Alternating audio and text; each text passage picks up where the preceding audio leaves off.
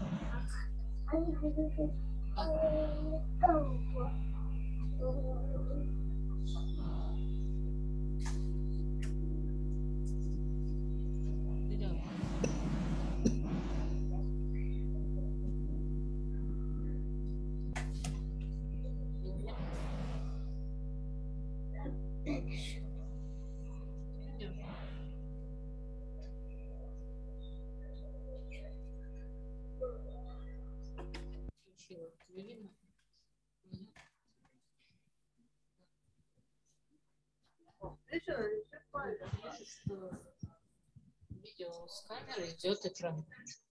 Нет.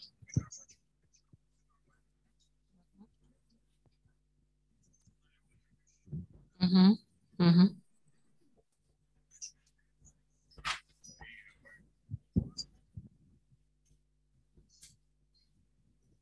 А, все включено, проектор. Ты нажал что-то? Нет.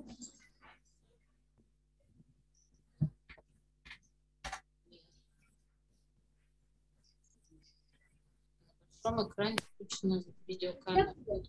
Уйди оттуда. Я ничего не Вот ты тыкаю. ничего не тыкаешь, тебе еще и смотри. Молодец, иди ручку. Стоп. Он не может сам, он не дотягивается. Вот это может. Мама, я пришел. Да. Не трогайте, ничего, отойди. Так, иди стихи учить, Федя, после этого.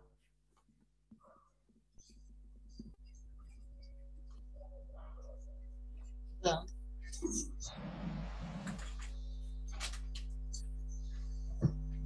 Так, говорят, под Новый год что не пожелается, повторяй. Давай по Новый год. Что не пожелается? Все всегда произойдет, все всегда Нет, я вообще не все, понимаю. всегда произойдет, все всегда Да сбывается. сбывается. Могут даже у ребят сбыться все желания. Еще повторяй. Могут даже у ребят. Могут даже у ребят. Ну повтори. Смотри, вот мы с тобой сидим. Я тебе говорю строчку, ты не следующую строчку говоришь, а эту строчку, которую я только что сказала. Говорят под Новый год. Говорят по Новый год. Что не пожелается? Нет, не так. Что не пожелается? Что не пожелается? А тут у тебя будет так желается. Не надо, не как маленький Степа. Все всегда произойдет, Все всегда произойдет. все всегда сбывается. Все всегда сбывается. Могут даже у ребят Могут даже сбыться все желания. Сбыться все желания. сбыться все. Нужно только говорят, нужно только говорят, нужно только говорят, Нужно только приложить старание. приложить старание. Лениться, не зевать Иметь терпение. Иметь терпение. иметь терпение. И не считать. И не считать. Учение не считать. за свое учение. Говорят под Новый год, что не пожелается. Говорят по Новый год, что не пожелается. Все всегда произойдет, все всегда сбывается. Все всегда произойдет, все всегда сбыться все желания. Могут даже сбыться все же. Нужно только, говорят, приложить старание. Нужно только... Уйди отсюда! Брысь! Нет! Так как что? Нужно только, говорят, приложить старание. Не лениться, не зевать и иметь терпение.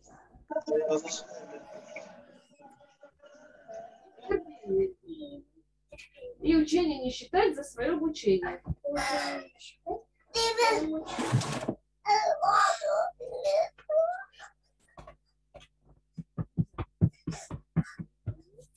Так,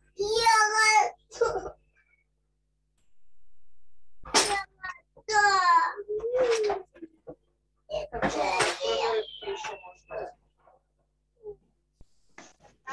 Друзья, добрый вечер. Все те, кто в конференции, будьте добры, выключите, пожалуйста, звук до моего сигнала, до 19.30. В противном случае я буду удалять из конференции. Спасибо. Мама, иди посмотри, тут что-то надо сделать.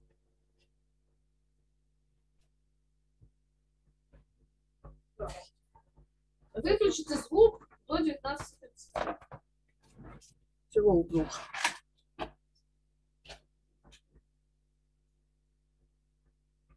А что прошло? Не знаю, что-то мышкой повозил Степа. Так он и закрыл страницу. Мне надо какую-то из страниц нажать, что она там отвечает. Включаю чего Надо, он написал, сказал выключить звук до его указания. Не знаю, что это. Больше, чтобы тебя он не слышал, да?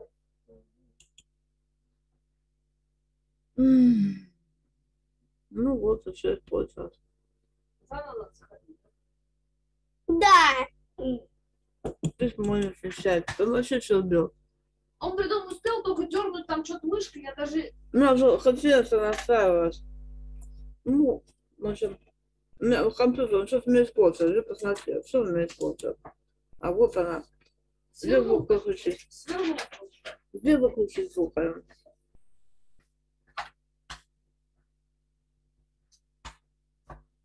А вот выключен видео. Вот вот это, да?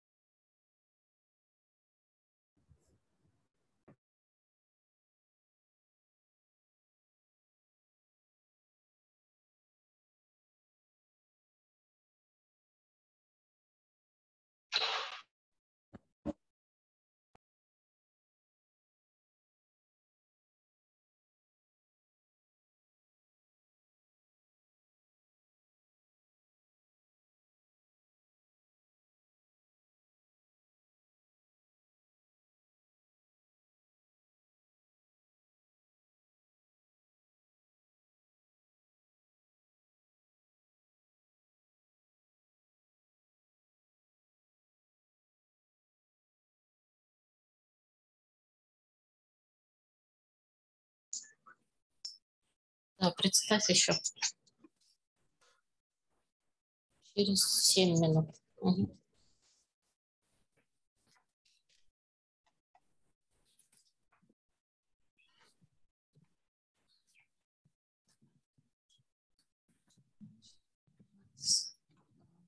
Квадратик. Так, Листание. листами. Вот. Ага. Вот эти. Мгм.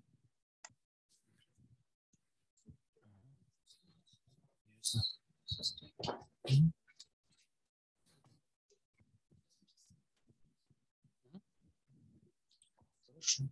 Ку-ку.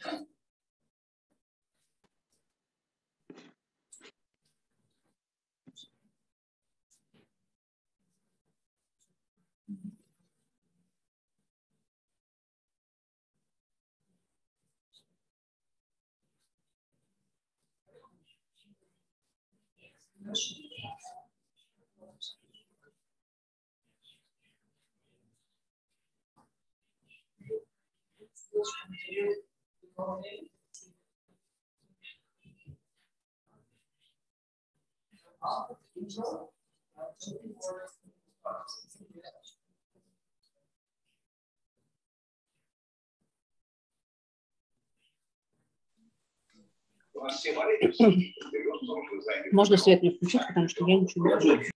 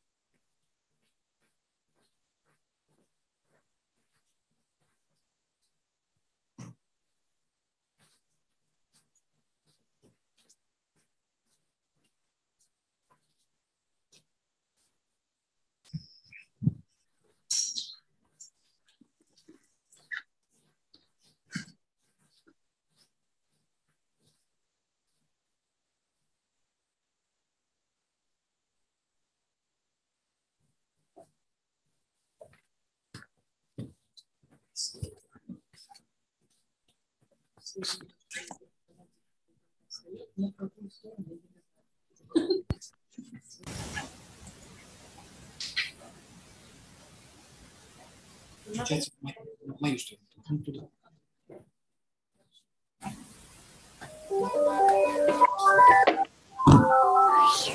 Оставайтесь на Как, а ты что?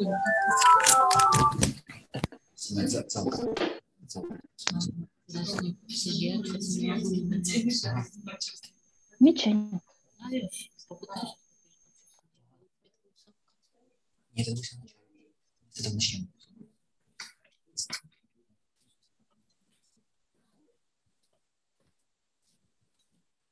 Есть мы можем... Да? Просто если вы Да, да, поясните этот смысл. Да. 10 по... Да, да, да, да. Ну, поясните смысл. Расскажи всем смысл. Да, ребят, я я думаю, все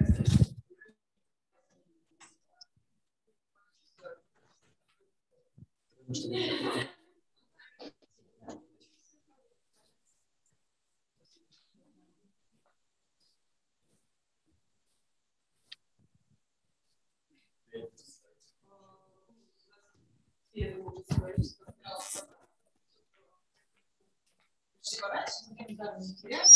Подготовили небольшой э,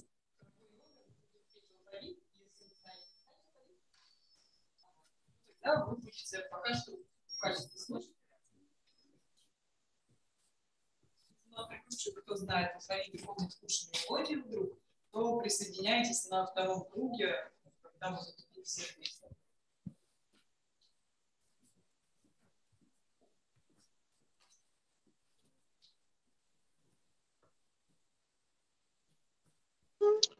Друзья, добрый вечер. Если все готовы, я предлагаю начинать. Мартис, как вы готовы? Готов? Слышно? В виду зуме. Так, Мартис, я вас не слышу. Будьте добры, в микрофон скажите. В зуме Сокол, сокол. слышно. Я дятел. В зуме слышно. Дальше? В смысле? А.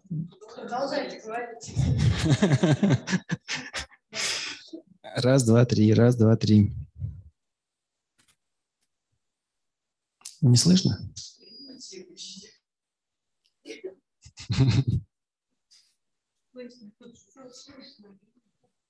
А Сергея не видно? Не, не должно быть видно.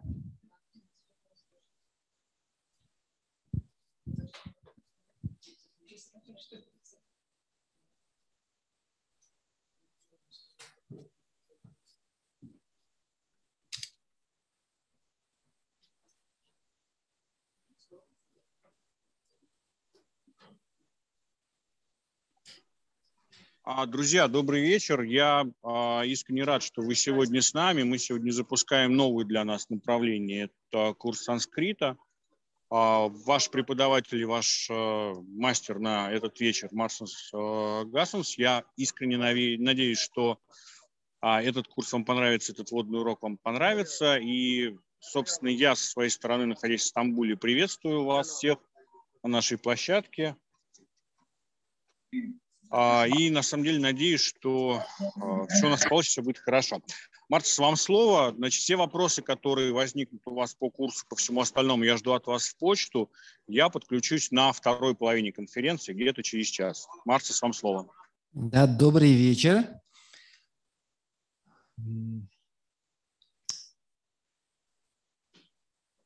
Санскрит начало звучит как sequel, то есть как будто бы будет продолжение. Или оно уже было. То есть как Бэтмен. А, На мое первое занятие в Новосибирском университете пришло 70 человек. На второе 15. Поэтому начало переживут не все, но моя задача вас отговорить от того, чтобы вы занимались санскритом. Ну, то есть, чтобы те 15, которые при- придут на второе занятие, чтобы они заранее понимали, на что они идут. Да? То есть, итак, значит, зовут меня а, Гасунц Марцис Юрьевич. Я кандидат филологических наук и занимаюсь санскритом уже 18 лет. Я не собирался заниматься санскритом дольше двух лет. Поэтому я хочу вас предупредить, что если вы санскритом заниматься можете не заниматься, не начинайте. Потому что я не смог сбросить, бросить. Да? То есть, в смысле, я не собирался изучать санскрит э, вот все там, 20 лет. У меня есть более интересные дела по жизни. Но раз начав, я уже бросить не смог. Поэтому вы должны взвесить для себя, зачем вам санскрит. Э, э, За годы мой ответ э, менялся. Да? То есть, когда я задавал себе вопрос, зачем мне санскрит, в разное время я отвечал себе по-разному.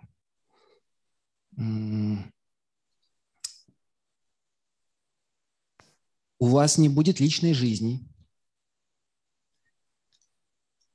Вы все время будете мне должны домашку.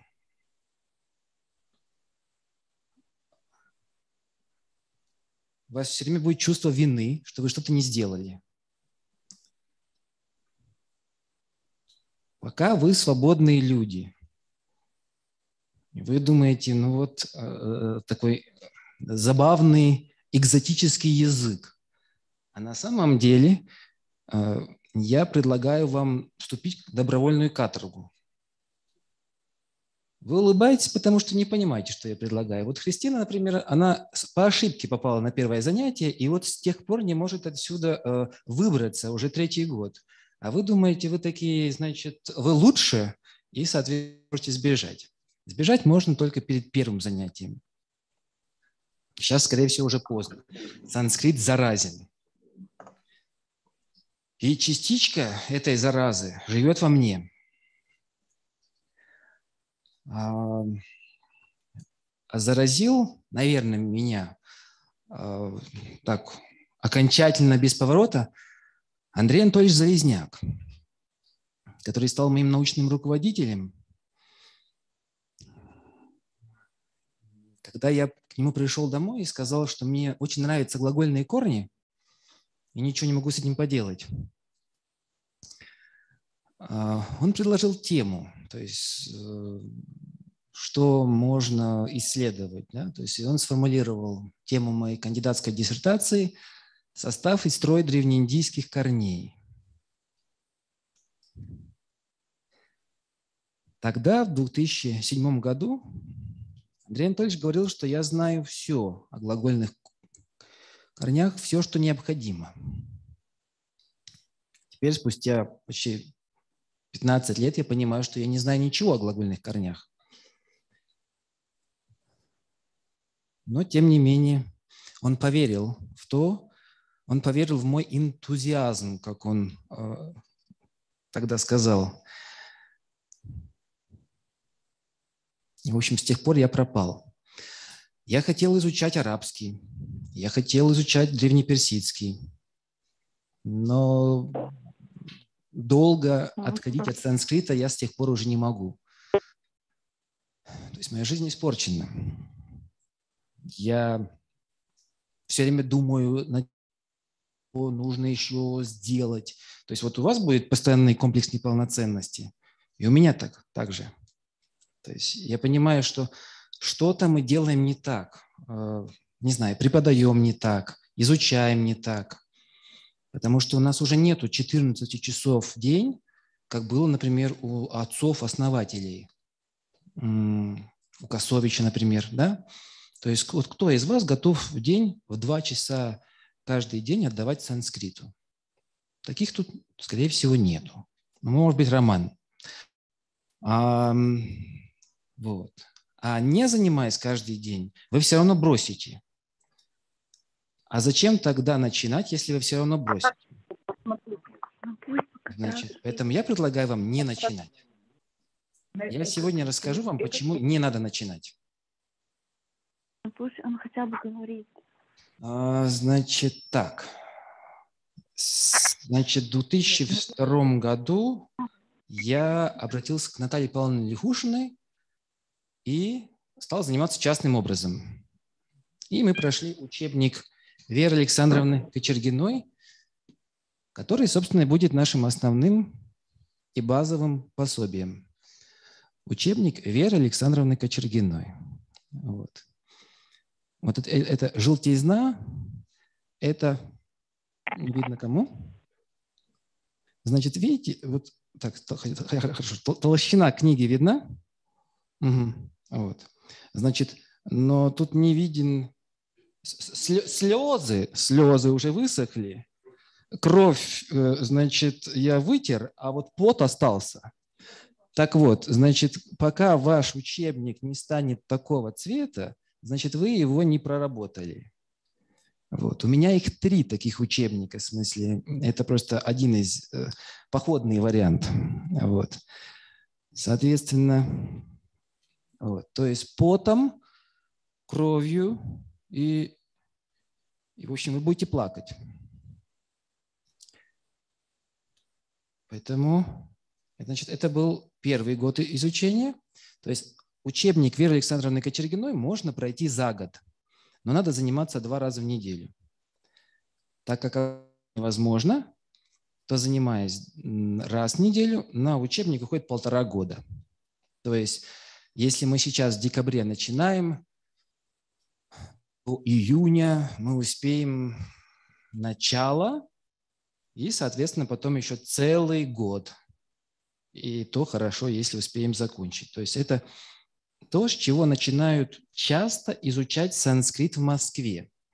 В разных городах России есть разные традиции изучения санскрита. Вот в Москве э, часто изучают по учебнику Веры Александровны Кочергиной. Вот в Петербурге, например, сразу начинают с учебника Бюллера. Вот. Видно, наверное, толщина учебника. Он худенький, худенький, тоненький, тоненький. Значит, э, но на него, на, на прохождение этого учебника уходит, ну, хорошо, если столько же времени, сколько, чтобы пройти учебник Веры Александровны. Вот. Значит, это два основных пособия. Учебник санскрита Веры Александровны Кочергиной и руководство Бюллера. Обычно мы проходим сперва Кочергину, потом Бюллера. Да.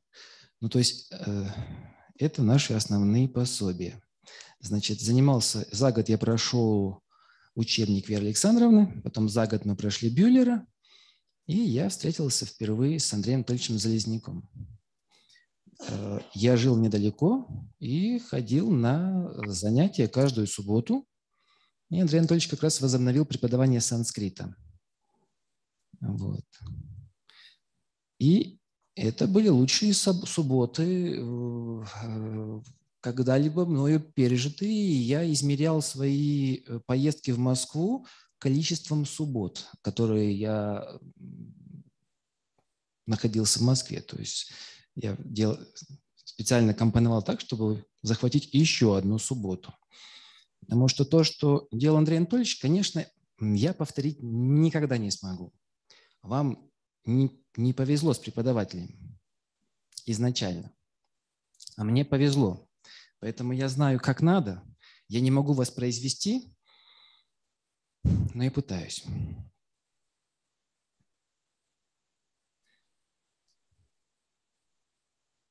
Ну, то есть, да, Андрей Анатольевич показал мне, а, каким стройным и ясным на самом деле может быть санскрит. Но чтобы эту ясность увидеть, ну, пожалуй, мне потребовалось еще пять лет после этих занятий, чтобы понять, о чем вообще мы разговаривали.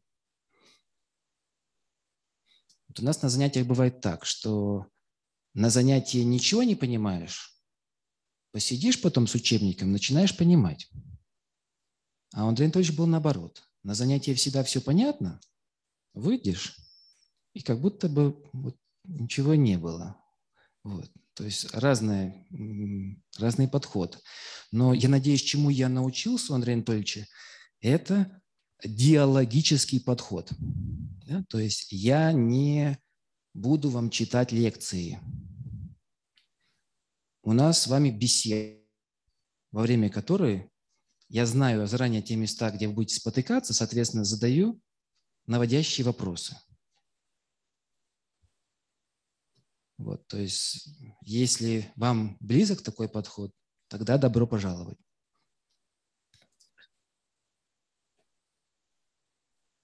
В «Океане сказаний» есть такая история о том, зачем изучать санскритскую грамматику. Царь эм, не понимает, что ему говорит его возлюбленная, и оказывается в дурацком положении. И вот чтобы, в общем, не оказываться в дурацком положении, он решает уйти го- головой в грамматику. То есть оказывается, что ну, санскрит – это не совершенно бесполезное э, занятие. Санскрит – это наиболее для меня быстрый способ понять, насколько я ограничен. Ну, то есть я думал, я умный, но когда я начал соприкасаться с санскритом, это все прошло.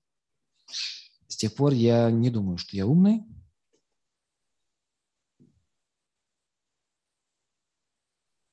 Это отрезвляет. Вот. Последние 200 лет в Европе санскрит преподают иначе, чем в Индии.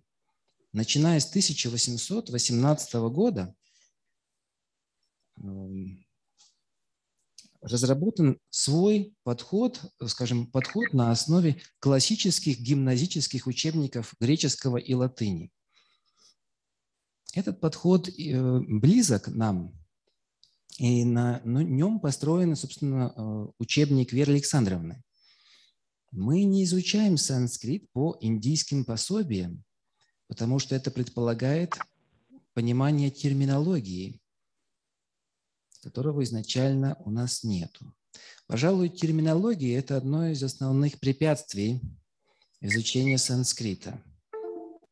Поэтому сперва, сперва вы будете спотыкаться из-за неизвестных слов, которых будет очень много, и в основном они будут даже не санскритские, а латинские.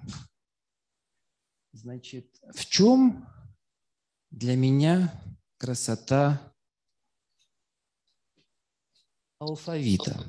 А сейчас, собственно, мы сделаем небольшое включение, чтобы продемонстрировать, что санскрит это не, не всегда так занудно, как я начал, что можно повеселее. Uh, Usha, are you there? Yes, да. Okay. Um, then may I ask you to chant the Varnamala? Yes, the normal way, right? Yes, the normal way. A bit louder, maybe.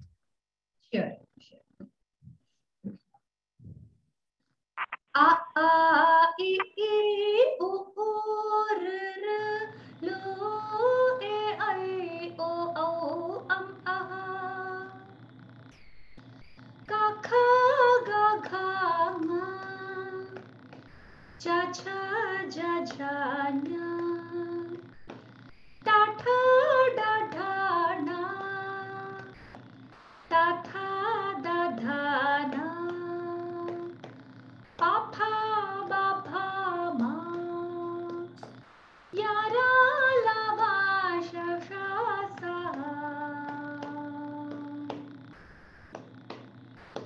ஆ ஆ இ இ உ உ ஏ ஐ ஓ ஓ அம்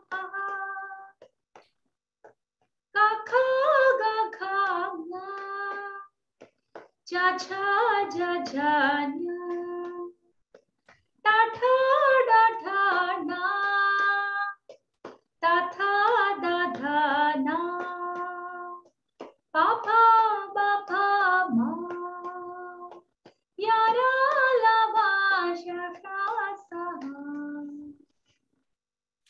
Спасибо, Уш. Uh, do you believe we can try to um, repeat after you? Sure. Yes. Sure. Okay. Let let us try. We have one uh, girl. She's trying for the first time. Uh, can we? So part in bits, right? No, no, Small just not not parts. Uh, She'll she'll she'll do it. Just just listen to us. Oh, sure, sure. Okay. Ca- Can you can you see us? Okay. Not very clearly, but okay. Okay. uh, can you see here? Yes, I do. Okay, Uh, great. yeah. Hariom Usha. Glad Hariom, to yeah. as usual.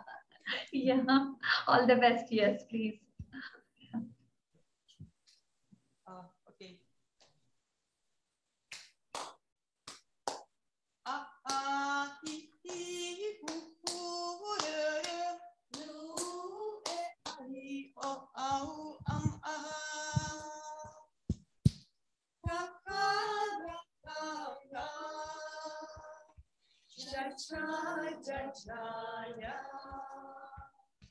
Rakha, Rakha, Rakha,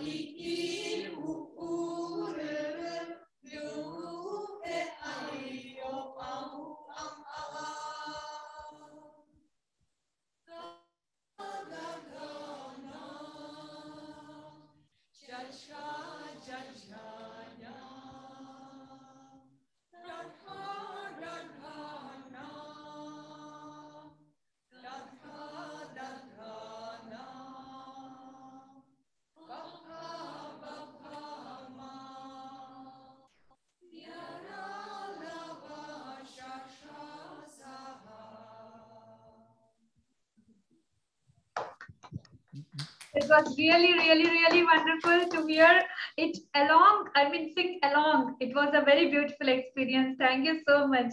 Did we manage to repeat? Yes, yes, they are they are almost perfect. They are very good, and everybody singing it together gave a real, real uh, horrifying feeling for me. Thank you. good. Э, Это то, чего мне не хватило в университете, когда я обучался рецитации санскрита. И теперь мы можем восполнить этот недостаток. То есть помимо грамматики, в санскрите есть много разных граней, которые в России часто обходят стороной. Вот, и ре- рецитация как раз одна из таких граней. И это был наш алфавит. У нас будет... э, Теперь я прошу э, Христину продемонстрировать, какими бывают санскритские стихи. Э, Мы, когда читаем по слогам, не всегда понятно, а в чем же красота. Да? То есть, ну хорошо, какое-нибудь нравоучение, какая-нибудь там дидактическая нотка. Вот все это есть. А вот красота в чем? Вот красота как раз в звучании. Хотя я и занимаюсь уже 10 лет изданием книг по санскриту, но санскрит должен звучать. И это бывает непросто. Для этого, пожалуй, нужна грамматика, но не обязательно. А, Это разные направления. Они дополняют друг друга. Тогда я попрошу Крис показать, как бывает, когда санскритские стихи э, читают не заунывно, Спасибо. Э, Я хочу вам напеть тоже благодаря Уши. Она нас обучила рецитации различных э, поэтических метров санскритских. Хочу продемонстрировать вам четыре из них. Я буду подглядывать в текст. Э, Значит, первый называется Шикарини. Шивакшактя юкто яди павати кта прабхавитум Начедевам дево накалу кушалаха спандитумапи. Атаствамарадhyam hariharavirincadibhirapi. Pranantum stotum va kathamakrita punya брабхавати. Э, с- Следующий ритм, метр. Шардула викридитам. Vamos. आदौरामतपोवनाभिगमनं हत्वा मृगं काञ्चनं वैदेहीहरणं जटायुमरणं सुग्रीवसम्भाषणं वालिः निग्रहणं समुद्रतरणम् Lanka Puridahanam Paschadravana Kumbhakarnahananam Хетадхирамаянам. Это было краткое ну, содержание Рамайны, насколько я знаю. Спасибо. А, есть еще очень красивый метр Малини, его особенность в том, что четные и нечетные а, строки имеют разное количество слогов, насколько я помню, да? Я не путаю? Атулита баладхамам сварнашайлабхадехам Дануджавана кришанум джнани намаграганьям Сакалагуна нидханам ванаранамадишам Бхактам Ватаджатам Намами. И последний, самый жесткий метр из всех, которые мы изучали, он э, пока что, на данный момент, я верю, что будет еще что-то сумасшедшее. А, Называется он э, Шрагда, а,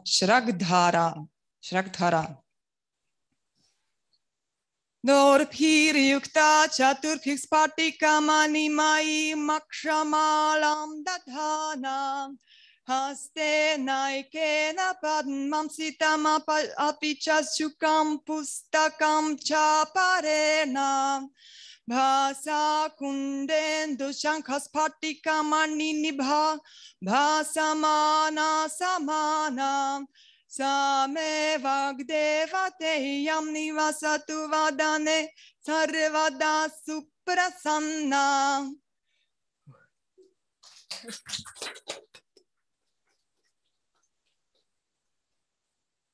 Таким должен быть санскрит.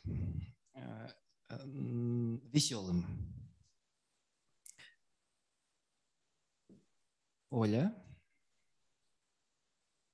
Оля выучила наизусть Бхартрихари, но стесняется. Ну хорошо, пока дадим ей несколько минут собраться духом. Эм, Да, то есть вот- направление что-то что помимо грамматики в университетах не, не заложено. Да? И вот чем, в чем преимущество наших онлайн-занятий, что у нас нет никакой обязательной программы.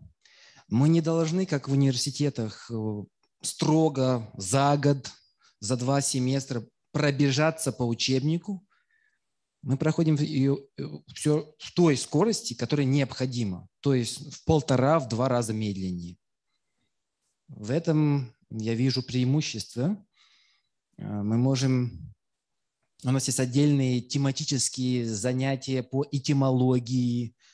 Э, У нас есть э, мифология, ритуалистика.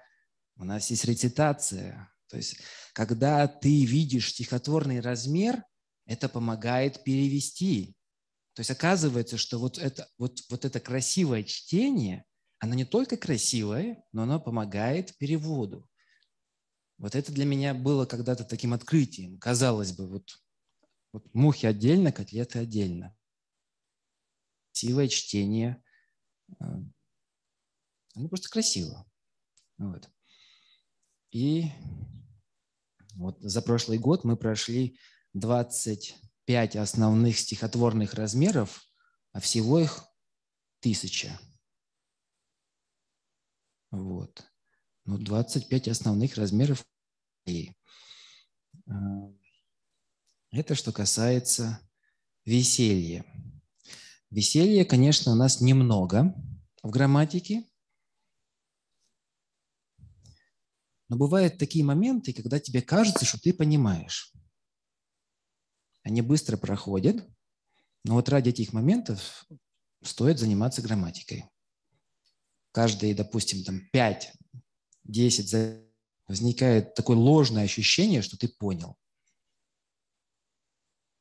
А, Вот эти моменты вдохновляют, потому что когда ты два часа ищешь в словаре несуществующее слово, это расстраивает. Если ты часто ищешь несуществующие слова, ты можешь расстроиться и бросить. Бросить ты можешь, но ты все равно потом вернешься. Ну, то есть ты можешь бросать санскрит один раз, два раза, но ты же все равно вернешься. Поэтому я и говорю, не начинайте. Если можете не начинать, не начинайте. Потому что бросить-то вы сможете, но не окончательно. И потом вы все время будете тяготиться тем, что вы бросили санскрит. Поэтому не начинать.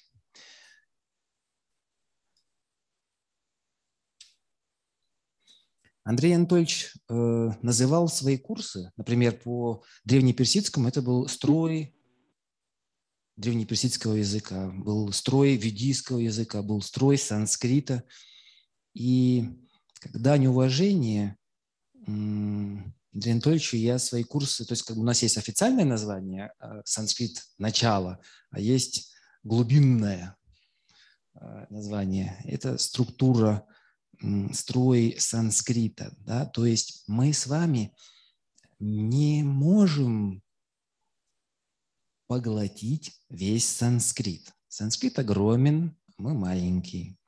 Мы будем прикасаться э, к устройству, к строению языка.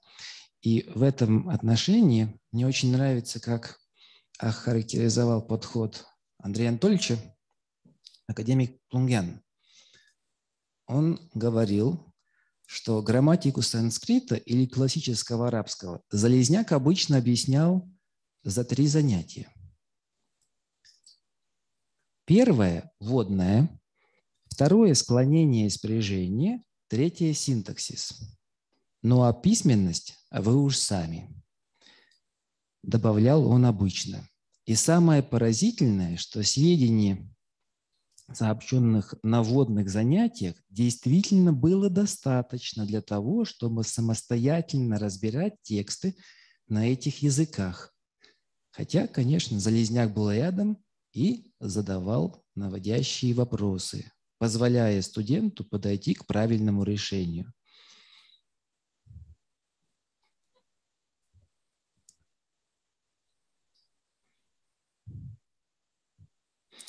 Санскритом невозможно овладеть.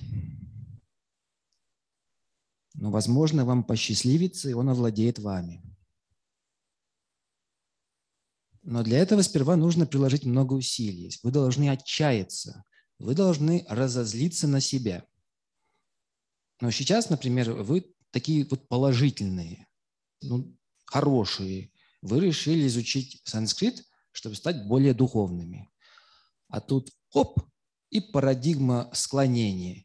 И вы понимаете, что тут речи нет никакой духовности. Вы просто элементарно не можете в голове удержать там две вещи, уже не говоря четырех. То есть санскрит рассеивает ваши иллюзии. Вы пришли духовными, а ушли нормальными, то есть здоровыми. Вот получается, он с одной стороны заражает, а с другой стороны лечит. Потому что иначе объяснить э, количество людей, которые теперь интересуются санскритом, я не могу. То есть они хотят от него что-то получить. Ну, то есть стать более значимыми. Но это все быстро проходит. Поэтому на первом занятии 70, а на втором 15. И статистика такова, что к концу курса хорошо, если половина, обычно доходит четвертая часть. Поэтому группу надо набирать постоянно для того, чтобы кто-то дошел до конца учебника.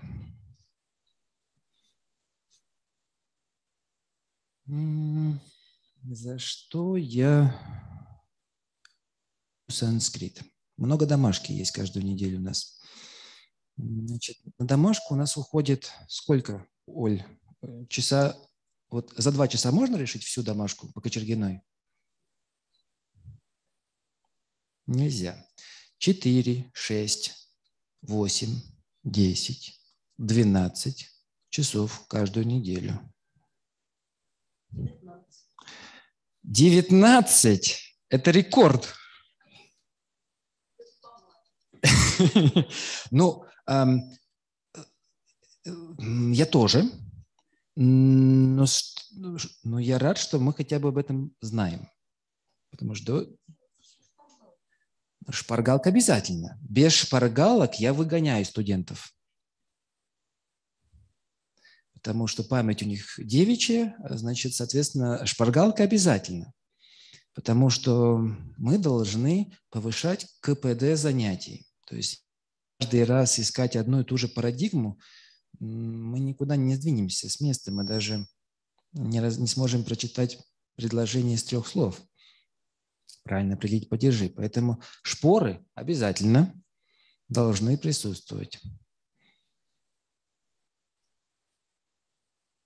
Индийский подход, которого мы избегаем, потому что он чересчур громоздкий и требует... Ну, в общем, мы поздно начали изучать санскрит. И я поздно начал, и вы поздно начали. Поэтому индийский подход предполагает, что вы начали, когда вам было, ну, 8 лет, допустим, ну, 6, но никак не 10. То есть вы уже для санскрита слишком старые. Если идти путем индийским, путем зазубривания. Индийский путь означает, что вы сперва все запоминаете, а потом с годами потихоньку начинаете понимать, а что же вы зазубрили.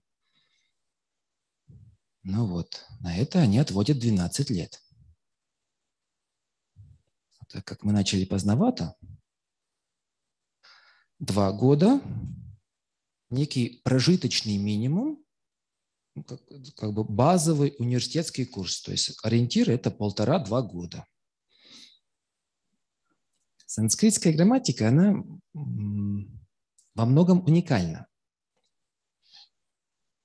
Такой подробной грамматики, как было написано в V веке до нашей эры, нет ни одного другого языка по сей день. Но вот в середине XIX века академик Бётлинг а, описал а, значит, якутский язык с точки зрения а, планки, заданной древнеиндийскими лингвистами. И получилось нечто совершенно изумительное. То есть оказывается, что то, что в Древней Индии делалось две с половиной-три тысячи лет тому назад, мы до конца сегодня не понимаем, а то, что понимаем, собственно, и послужило толчком для зарождения современной лингвистики. Потому что вот в частности грамматикой описательной, каковы, например, те грамматики, которые мы используем на уроках русского, и грамматика порождающая – это принципиально два разных подхода. И для тех, кто не готов э, погрузиться в туземную грамматику, но хочет нюх-нють это, этот подход, э, есть брошюра МНО, и это как раз такое э, дуновение индийского такого подхода, такой намек. Ну, то есть если вам интересно узнать, а как бывает по ту сторону, вот мы изучаем санскрит, как последние 200 лет немцы придумали, и мы за ними повторяем. А есть другой подход. Можно посмотреть на МНО, и он дает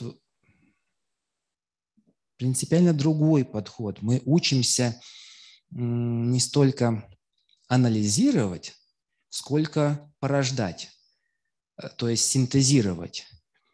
И вот через этот процесс, через процесс синтеза мы учимся думать. Проблема в том, что изначально мы не умеем думать. Мы думаем, что мы думаем, но думать мы не умеем. То есть последовательно рассуждать. Мы постоянно что-то забываем, и санскрит учит думать.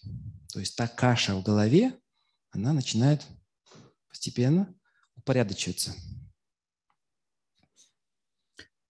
Но чтобы это случилось, надо придерживаться определенной методики. Нельзя открыть Бхагавадгиту и начинать ее читать, потому что очень хочется. Так можно потратить много времени, и все равно ничего не получится. Поэтому у нас в Европе принято, например, изучение санскрита с э, панчатантры и хитападеши. Как выразилась одна из моих учениц, я не буду читать про ужей и ежей. Значит, но и, и как бы, ну, на- но надо. То есть э, ей не, не хотелось, но пришлось. То есть вот эти басни – это вход в санскрит, потому что стихи – это язык намеренно усложненный. И мы не можем сразу понять сложное, сперва не поняв простое. И поэтому, вот, хотя нам очень хочется чего-то сложного, но нельзя, иначе мы испортим, все себе испортим, и, возможно, даже никогда это не можем починить. Поэтому есть определенная очередность, которую нужно соблюдать. Хотя мы, конечно, хотим читать философские трактаты, а как же без них? Но нельзя э, вот ставить телегу впереди лошади. Поэтому сперва про ежей. Значит, учебники. Про учебники расскажу тогда чуть позже. Чем мне нравится алфавит и почему мы его распеваем? Потому что он очень красивый, он очень стройный. И эту стройность эту стройность в 1869 году заметил Менделеев. Они играли в шахматы с Бетлингом. Санскрит учить он не хотел. Он был человек э, разумный. Понимал, что пришлось бы бросить химию. Э, Значит, этого делать он, конечно, не хотел. Вот. Но, э, но санскритские названия для пустующих ячеек он взял. Почему? Почему он обратился к санскриту? Получается, что алфавит, он двумерный. Его можно читать сверху вниз, ну, точнее, двумерный, он как минимум двумерный. А Его можно читать сверху вниз и слева направо. И, и, и это, может быть, кажется просто, но никто другой до этого не додумался. Вот. И классификация в том виде, как она представлена в МНО, она мне очень нравится, потому что она, она, например, показывает наглядно, что гласные, оказывается, звонкие, и что гласные, оказывается, тоже имеют определенное место образования в ротовой полости. То есть вот эта классификация по варгам, то есть МНО – это, как бы, если мы смотрим по варгам, то надо смотреть так, сбоку. То есть надо перевернуть МНО. Вот. То есть здесь мы можем читать и сверху вниз, и слева направо. То есть получается два измерения – по месту образования и по способу образования. И то же самое мы видим в таблице Менделеева. То есть э, не исключено, что санскритский алфавит послужил некоторым толчком, чтобы упорядочить разрозненные наблюдения. Как вы видите, это из полного собрания сочинений Менделеева, страница из черновик, черновиков. И поэтому я понял, что книги издавать надо. Ну, пожалуй, еще около 10 книг не хватает. Но еще больше надо эм, заниматься наглядными пособиями. И вот теперь я решил издать серию из 10 плакатов, и, возможно, еще 5 придумаю. Я, я понял, что книги кого-то могут отпугивать. Ну, то есть, когда человек видит сразу 3000 страниц печатного текста, он может подумать, что это надо пройти за год.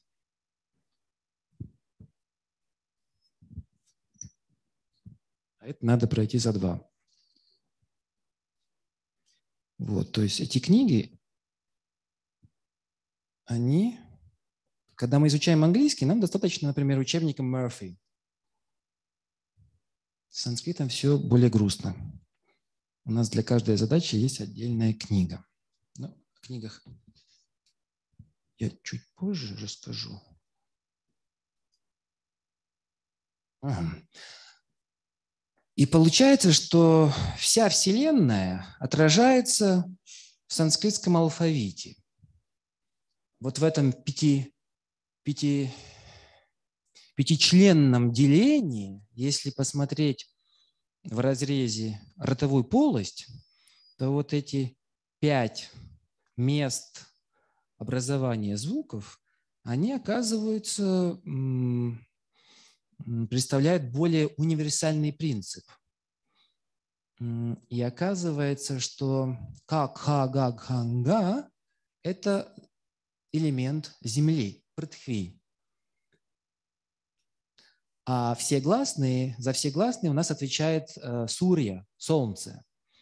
То есть оказывается, что вот в санскритском алфавите, помимо того, что он сам по себе стройный и двумерный, есть еще несколько измерений.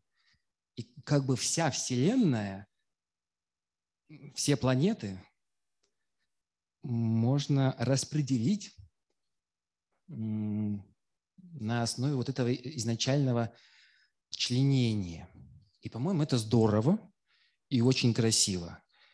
И вот э, э, у Менделеева получилось очень стройно, у меня пока не очень, но я надеюсь, что когда-то я сделаю это нагляднее и понятнее, но, по-моему, это великолепно. То есть оказывается, что вот то есть звук действительно причастен к творению. И здесь это наглядно видно. Да? То есть у нас, например, чачха джаджха ня – это джалам, вода та тха да дха на агни огонь та тха да дха на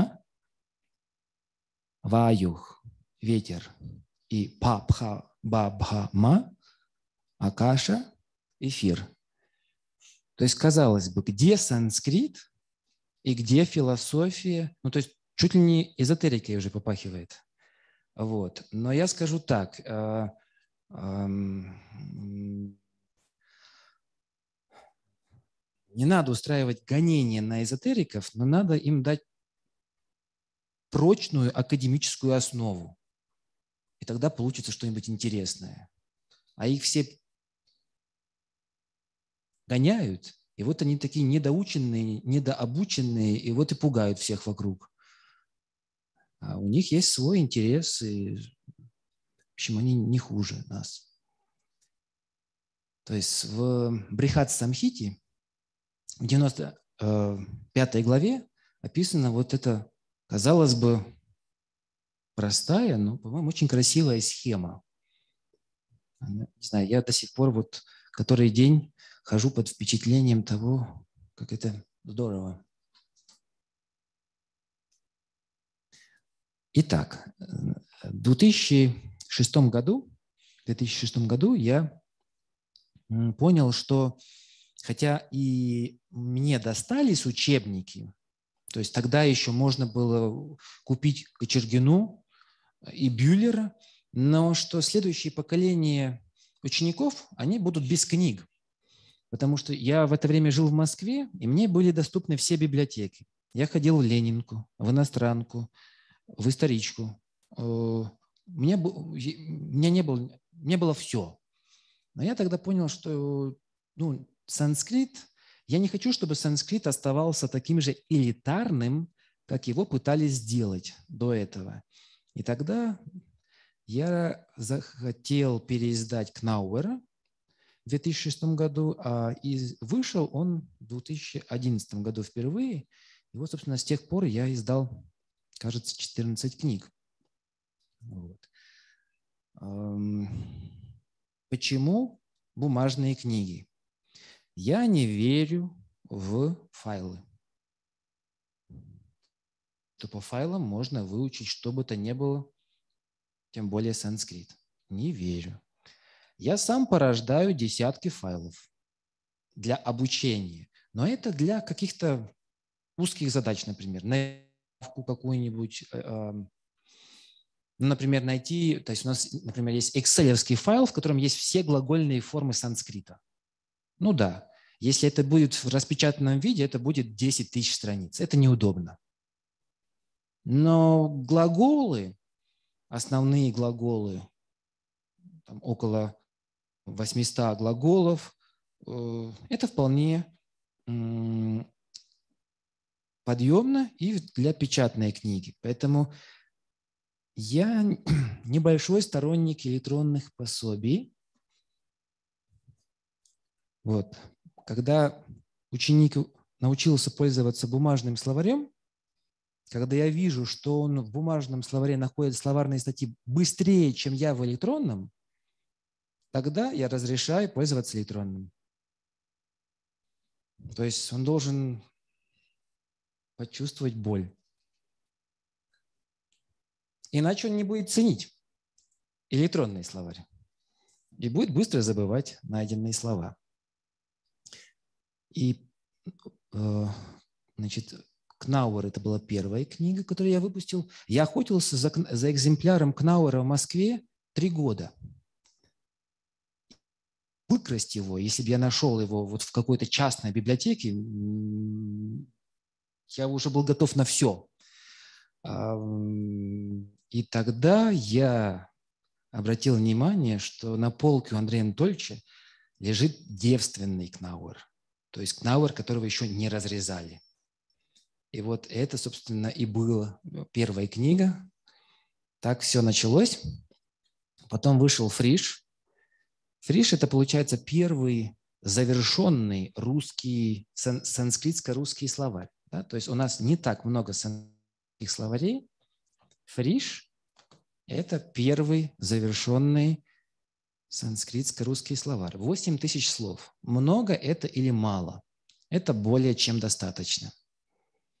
В корпусе Оливера есть такой Оливер Хельвик, и он проанализировал несколько сотен тысяч санскритских предложений и для анализа этих э, предложений ему потребовалось 90 тысяч слов, 90 тысяч основ для всего корпуса текстов, которые он проанализировал. 90 тысяч слов. Вот такой словарный запас. Но реально для задач учеб... перевода учебных текстов 8 тысяч слов более чем достаточно. Это был первый завершенный словарь. Но когда Вера Александровна в предисловии к своему словарю писала, что ее словарь первый, я с этим был не согласен. И когда я не согласен, я издаю какую-нибудь книгу. И тогда я нашел в Институте Востоковедения экземпляр Косовича. Э, это первый, но незавершенный словарь. И хотя он незавершенный, но 14 тысяч слов – это достаточно много. И на самом деле его можно читать отдельно, как особый вид э, чтива. То есть я получаю наслаждение от того языка, которым пользовался Косович в середине XIX века. Косович пытался перегнать Бетлинга, то есть того самого, которого я уже упоминал. То есть эм, он для себя, он, он задался вопросом, почему Российская империя выделяет четвертую часть всего бюджета Академии наук на издание санскритско-немецкого словаря, но у нас нету санскритско-русского. И вот он начал, но ему надоел словарь, и он его бросил. То есть это редкий случай, когда человек обычно человек умирает, и словарь остается незавершенным. А тут он и не умер, но бросил. Бросил, да. Санскритские словари делятся на завершенные и незавершенные. Больше в мире незавершенных словарей. Вот, например, в 19 году я поехал в Пуну, а, чтобы понять, как обстоят дела с индийской лексикографией. Потому что там уже 70 лет составляется самый крупный санскритский словарь в мире. И я хотел понять, когда они его закончат. И если печатать его с той скоростью, как они печатают его сейчас, то они закончат его через 1800 лет. Ну, то есть, чтобы понимали разницу в индийском подходе и в подходе, почему большинство санскритских грамматик написано немцами. Потому что ну, индусов не хватает на, на, обычно надолго, э, за редкими исключениями. Значит, э, помимо словаря у нас есть Христоматия Натальи Павловны Лихушиной, моего первого преподавателя санскрита. Дополнительные тексты, и здесь содержится конспект Андрея Анатольевича Залезняка. То есть у нас есть две сущности. Конспект на 20 страницах и очерк. Я не ожидаю, что кто-то, кто-либо из моих учеников поймет очерк но я рассчитываю, что они все будут ориентироваться в конспекте. То есть у нас есть, это наша Библия, но она написана, пожалуй, очень ясным языком, но чтобы вот эта ясность стала ясной, пожалуй, требуется иногда несколько лет предварительного обучения. Значит, почему я пересдаю старые книги потому что у нас нету новых. На русском языке до сих пор нету книги, например, по санскритскому синтаксису. И единственная книга на русском изданная по санскритскому синтаксису, была издана в 1883 году. То есть золотой век и рассвет санскритологии – это середина, конец XIX века. Мы живем в эпоху упадка интереса к санскриту. То есть лучшие пособия изданы в конце 19-го, начале 20 века. Поэтому, поэтому, собственно, эти книги в старой орфографии, и это вас не должно смущать. То, что у Веры Александровны изложено на двух страницах, здесь посвящено 400 страниц, то есть санскритским падежам. Так, значит, Бюллера я вам показывал. Значит, это у нас учебник второго года обучения. И он примечателен тем, что в нем есть перевод с русского на, на санскрит. То есть с санскрита на русский перевести, допустим, вы через два года сможете, а вот с русского на санскрит без Бюллера, пожалуй, нет. Вот, собственно, МНО, которое я упоминал, я не считаю, что учебник Веры Александровны безупречен. В нем есть некоторые недоработки, но их можно легко устранить, а, воспользовавшись дополнительными пособиями. И в частности, некоторый беспорядок санхи а, можно вполне успешно структурировать, обратившись к брошюре МНО.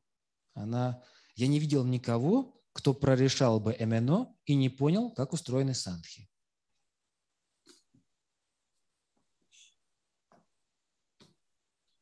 Тот самый Косович, который я, который я уже показывал словарь, значит, он в середине 19 века, в середине 19 верил, что он может перевести всю Махабхарату сам на русский язык. Но перевел отрывок. Махабхарата до сих пор не переведена на русский язык целиком. А он в середине XIX века считал, что может в одиночку справиться с этим. Но вот остался э, очень интересный перевод э, отрывка из Махабхараты на латыни. Поэтому можно освежить свою латынь заодно. И книга Кудрявского э, Кудрявский, как и большинство санскритологов, умер в нищете и в голоде. То есть, да, э, судьба санскритологов, она не усыпана цветами. Живут они скверно, едят мало, редко, потому что не успевают. А, Это так интересно, э, что они не успевают позаботиться о своем здоровье, поэтому умирают обычно рано. Начальная санскритская, э, санскритская крестоматия интересна тем, что в ней приведены все глагольные формы. То есть вопрос не в том, чтобы издать какой-то большой отрывок текста. Например, вот мы можем взять электронную э, какую-нибудь э, версию Махабхараты и на санскрите ее издать в России. Но это будет бесполезно. Это будет бесполезно.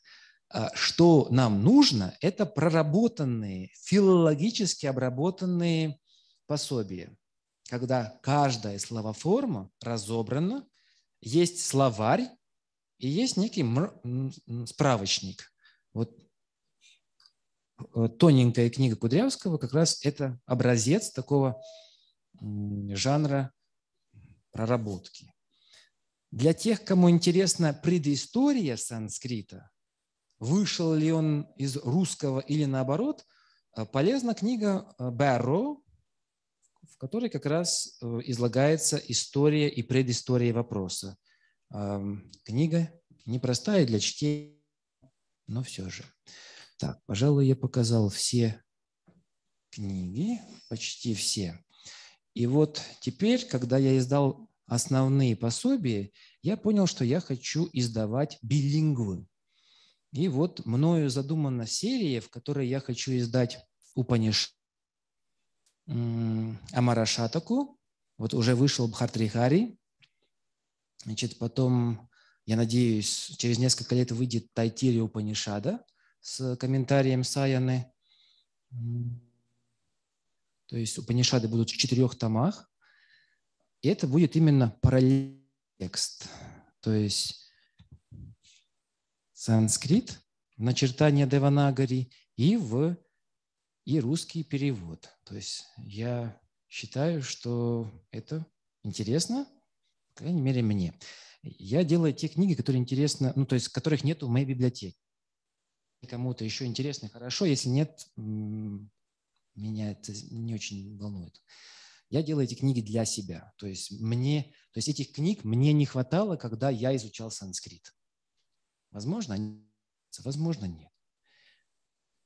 Так, что я не рассказал? Ну да, то есть помимо грамматики, соответственно, да, то есть я хочу до вас донести простую мысль, что есть разные другие сп- способы времяпрепровождения, связанные с санскритом, да, то есть можно углубиться в, в смысл слов, что же означает каждое слово, какова его история. Вот этим, например, мы заним- занимаемся по четвергам. По выходным мы занимаемся рецитацией, то есть учимся, ну, как Христина мы вряд ли прочтем, но стараемся из года в год приблизиться к красивому чтению. То есть есть грамматика, а есть разные другие направления. То есть э, то, чего мне самому не хватало в университетах. Так. Стройность. Стройность алфавита. Надеюсь, хотя бы чуточку вам стало осязаемой. Значит, у нас есть разные тематические сообщества. В 2005 году я э, основал общество ревнителей санскрита и, собственно, ну, как раз пытаясь э, соединить э, в остальном достаточно партизанящих индологов. Да? То есть индологи, каждый старается по себе отдельно что-то делать, но не всегда отдельно можно сделать все, что нужно. Поэтому я надеюсь, что рано или поздно мы все же научимся взаимодействовать. И у нас есть, ну да, собственно, я уже рассказывал, что у нас есть, например, по воскресеньям мы занимаемся санскритским синтаксисом, рецитируем, по четвергам занимаемся этимологией. То есть у нас есть а, задумка в 2022 году запустить курс каллиграфии Деванагари. Ну, то есть все знают, что есть арабская каллиграфия или китайская, но не все знают, что есть каллиграфия Деванагари. И в 2022 году хочу запустить курс разговорного санскрита с Радхой. Рад она начала изучать санскрит в возрасте 10 лет в Индии, и теперь преподает санскрит в Гарварде. То есть для тех из нас, кто начал в 20, нас, конечно, нам, нам этот путь не повторить, но можно хотя бы насладиться тем, как Радха весело э, болтает на санскрите. Вот. И поверить, что мы тоже это можем. Ну, пожалуй, э, в той части, которая была заложена в презентации, я рассказал все, что я задумал. Я хотел еще показать, что я занимаюсь реставрацией старых, старинных шрифтов. То есть я хочу, чтобы мы в книгах соприкасались с санскритом в том виде, как он, ну, как он бытовал 100, 150, 200 лет тому назад. То есть я противник э, вся, всякого осовременивания. Э, вот, поэтому мы используем разные старинные гарнитуры. Вот. А, что бывает непросто, потому что оказывается, что надо выучить не одну разновидность, а две-три, и лигатуры бывают э, достаточно разные э, в разных начертаниях. Поэтому, чтобы не путаться с лигатурами, я собрал таблицу, где показаны все возможные и невозможные комбинации. Не все из этого встречается в санскрите, но то есть я верю, что если обложиться наглядными пособиями, на, облож, облож, значит, э, повесить на стены значит, плакаты, рецитировать и читать 14 книг, значит, не одновременно, но хотя бы через день каждую, то потихоньку вы, вы э, сдадитесь, и санскрит потихоньку будет в вас э, вливаться. То есть сперва вы должны вложить нужное количество усилий, должны... Основное требование к, к занятиям санскриту – это усидчивость. Если у вас есть усидчивость, все остальное вообще не имеет значения. Учили ли вы английский или нет? Поставили ли вам в школе двойку по немецкому или нет? Это абсолютно не имеет никакого значения. Но если у вас нет усидчивости, то, конечно, делать тут нечего. То есть на попе надо уметь сидеть ровно. И вот когда вы первые 10 тысяч часов просидите на попе ровно, будем тогда говорить о том, что вы что-то не поняли или... То есть как бы здесь нужно брать количеством, количеством, и не ожидать, что вот вы год прозанимались и вот что-то сможете перевести. Боюсь, что нет. Ну, пожалуй, я рассказал все и ничего. Возможно, есть какой-то вопрос ко мне.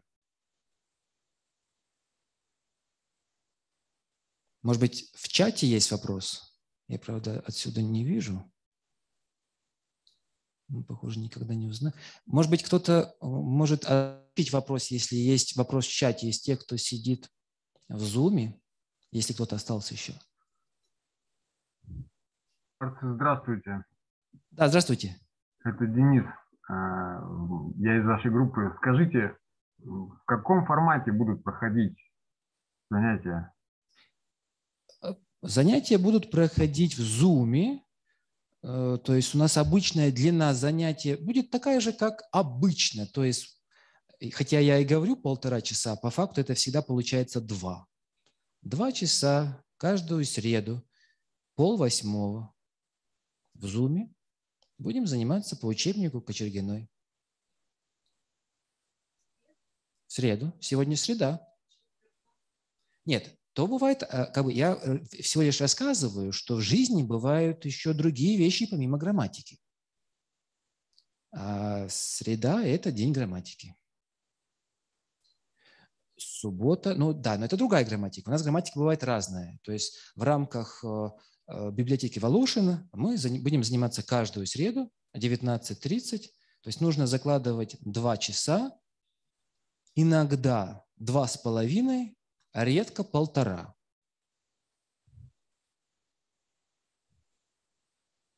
Не знаю, ответил ли я на вопрос. Может быть, есть другой вопрос?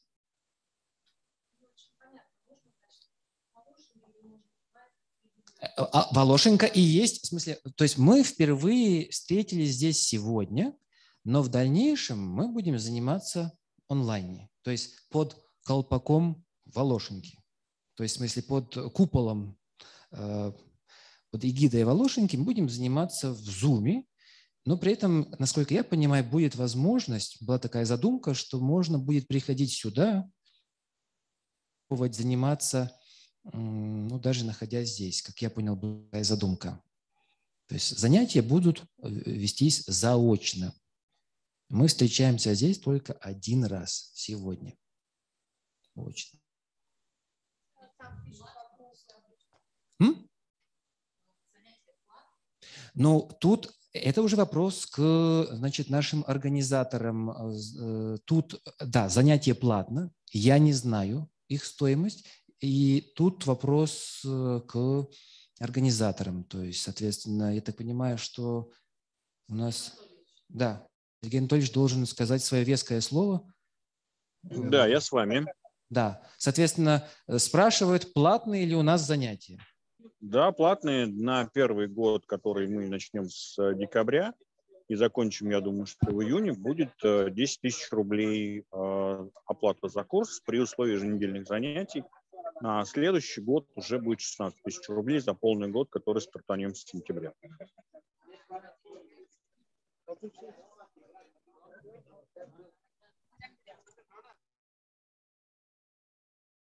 Я-то понимаю, что да. Да? Но то бывает, как бы, я просто к чему, что э, когда вы начнете заниматься, начнете расстраиваться. И чтобы сильно не расстраиваться, есть э, способы восстановить психику. Например, пропеть это, то же самое, то, что ты пытался перевести, но не получилось. То есть это для того, чтобы вы не расстраивались так быстро. Это бывает доп- дополнительные занятия, да, да. Для желающих. Для неж... Э, насильно я вас заставлять пока не буду, пока. Отдельно. Это отдельно. Не, нет. Это идет постоянно уже третий год подряд. Этот поток нельзя остановить. Да, у нас все платно. Значит, как, э, как, как когда-то э, говорила ученица моей жены, моя жена преподает детям фортепиано, и ученица, значит, говорит, а я не знала, что вы платная, да еще и дорогая. Это сказала ученица, которая победила в краевом конкурсе, заняла первое место, то есть, скажем так, хорошо занималась, и вот ее искреннее удивление э, я запомнил на всю жизнь, да. Мы платные, дорогие и не знаю, какие еще.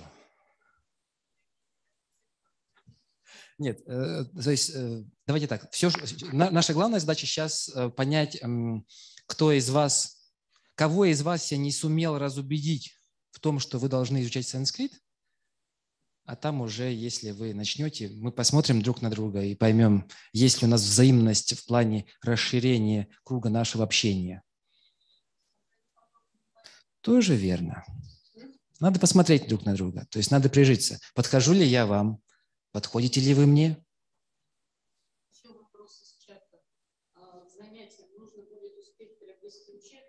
Ну, это, конечно, удобнее. Да, значит, да-да-да. Значит, нужен, нужны ли учебники к началу занятий?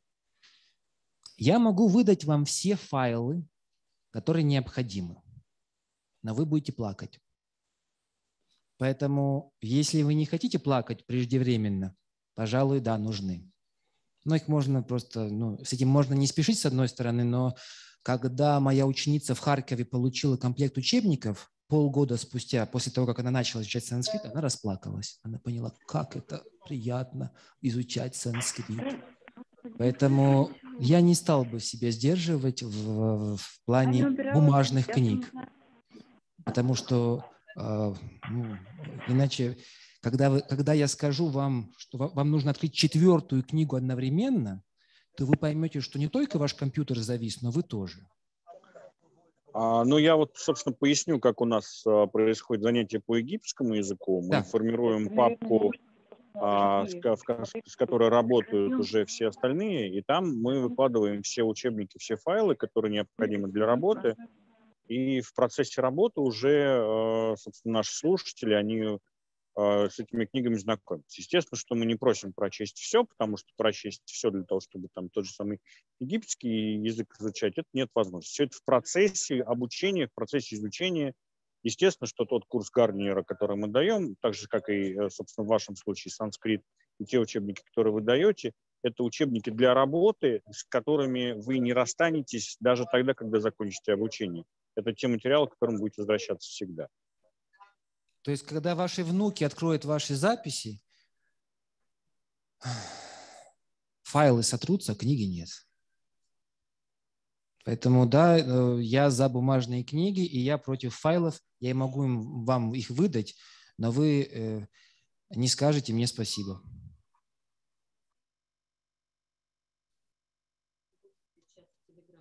Да, чат в Телеграме у нас уже есть. Соответственно, если вы хотите живого общения на санскрите и не только, пишите письма. Мы добавим вас в чат.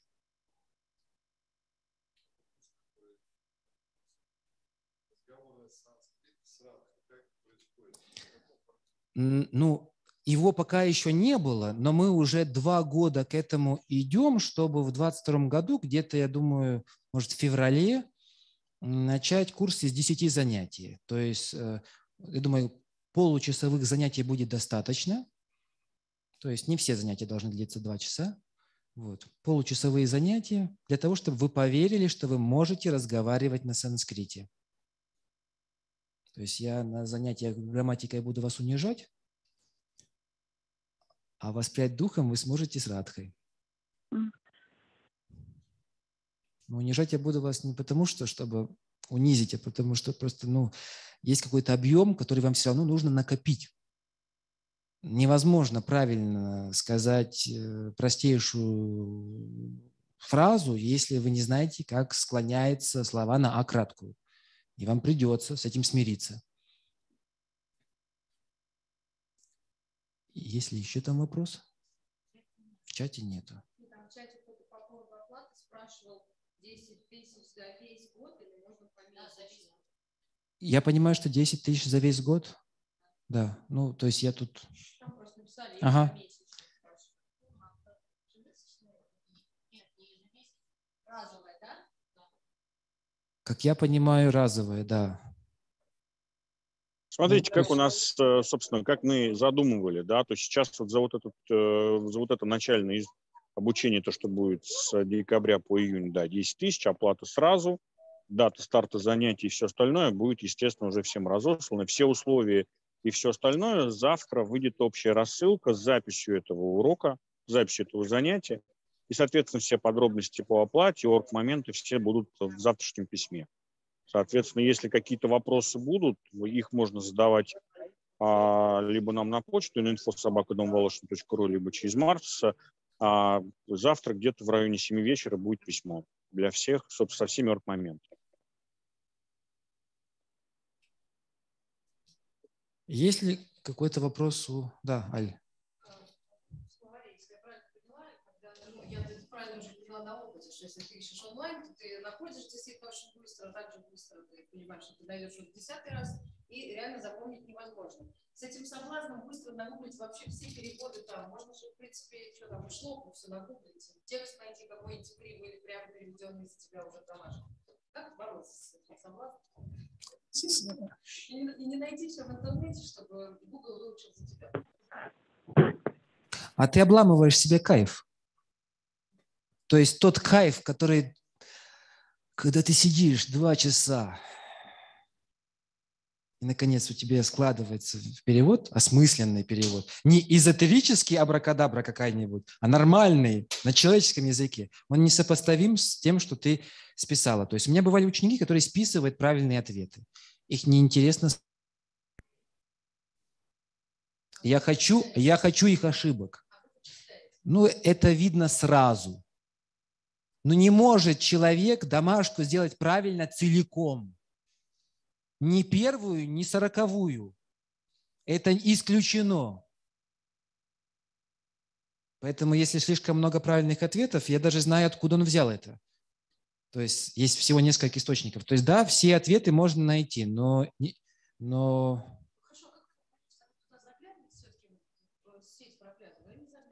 я вообще не вижу, зачем нужна сеть для изучения санскрита.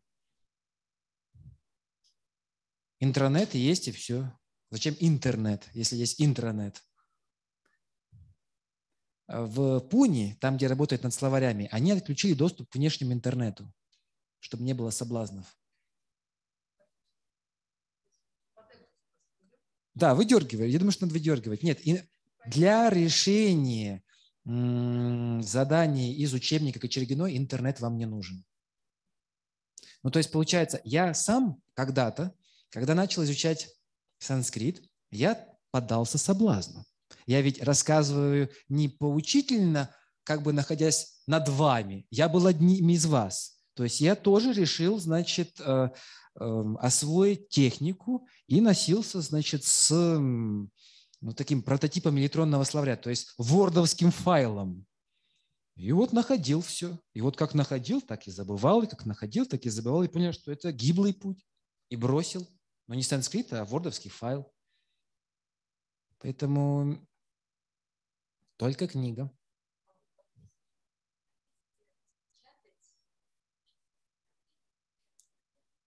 Можно, можно, распечатать можно, но вот после, допустим, пятого занятия уже будет неудобно. Первый, допустим, несколько занятий, да, можно. А потом страниц будет уже столько, что каждый раз искать 30 эм, секунд нужную страницу, это будет неудобно. Мы одновременно работаем с несколькими книгами. Я пытаюсь показать, что один и тот же материал можно подать по-разному. Соответственно, привлекая разные источники.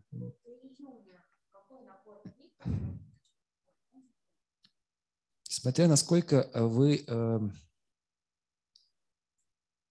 хорошо ко мне относитесь. Ну вот если очень хорошо, тогда вопрос, значит, э,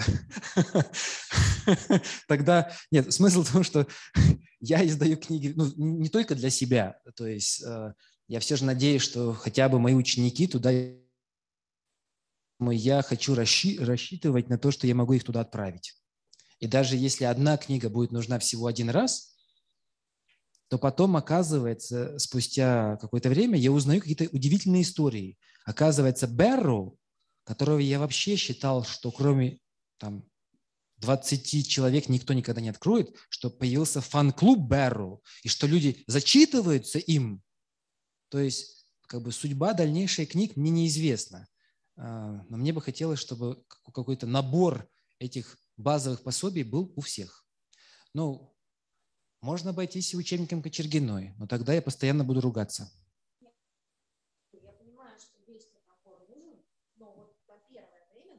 На первую неделю нужна Кочергина, на вторую уже нужно 14 книг. Ну или хотя бы 13. А надо будет посмотреть. Дело в том, что не все книги остались. У нас заканчиваются тиражи, поэтому надо будет пересмотреть стоили около 10 тысяч все вместе, но сейчас по факту книги заканчиваются, тиражи, у нас даже нету полных комплектов, кажется, уже, поэтому нужно будет смотреть, что у нас осталось, сколько нас э, жаждущих, и, в общем, все это оформить. Было здесь ориентир 10 тысяч рублей, но по, э, то есть и там доставка, допустим, если по России, то это рублей 800, Украина и Австралия – это 8 тысяч рублей доставка. Вот. А остальные страны, ну, из, да, ну, ориен- ориентир 13-14, я уже не помню, да, совершенно верно. То есть смысл в том, что я хочу вас загрузить так, чтобы вы сразу, как бы, то есть, чтобы вы делали осознанный шаг. То есть не то, что вот попробую, фиг я вам попробую. Вы или уже идете, и у вас нет обратного пути, или вы убегаете отсюда. И тогда у вас есть э, еще шанс иметь личную жизнь, какое-то личное счастье и вот это все. Или вот сейчас бросаете, или играем по полной. То есть так, чтобы мосты сжигались за вами, и учебники давили на психику. То есть мой метод – это э, постоянно создавать какие-то внешние э, триггеры, какие-то вот… Э, то есть вы посмотрите на эту кучку, у-у-у, вот, то есть что-то постоянно должно бодрить. Я не могу постоянно быть рядом с вами, поэтому вы должны бодриться сами дома. И эта куча, она действует, э, я знаю, как она действует. В ней заложена аура определенная. То есть это кусочек меня, только в переносном виде. То есть если вы начинаете, вы должны понять, что вот два года у вас не будет выходных, у вас не будет ничего, кроме кайфа от санскрита. И ну вот хотите ли вы этого, это уже вот не ко мне вопрос. Вот я не смог уже уйти от санскрита.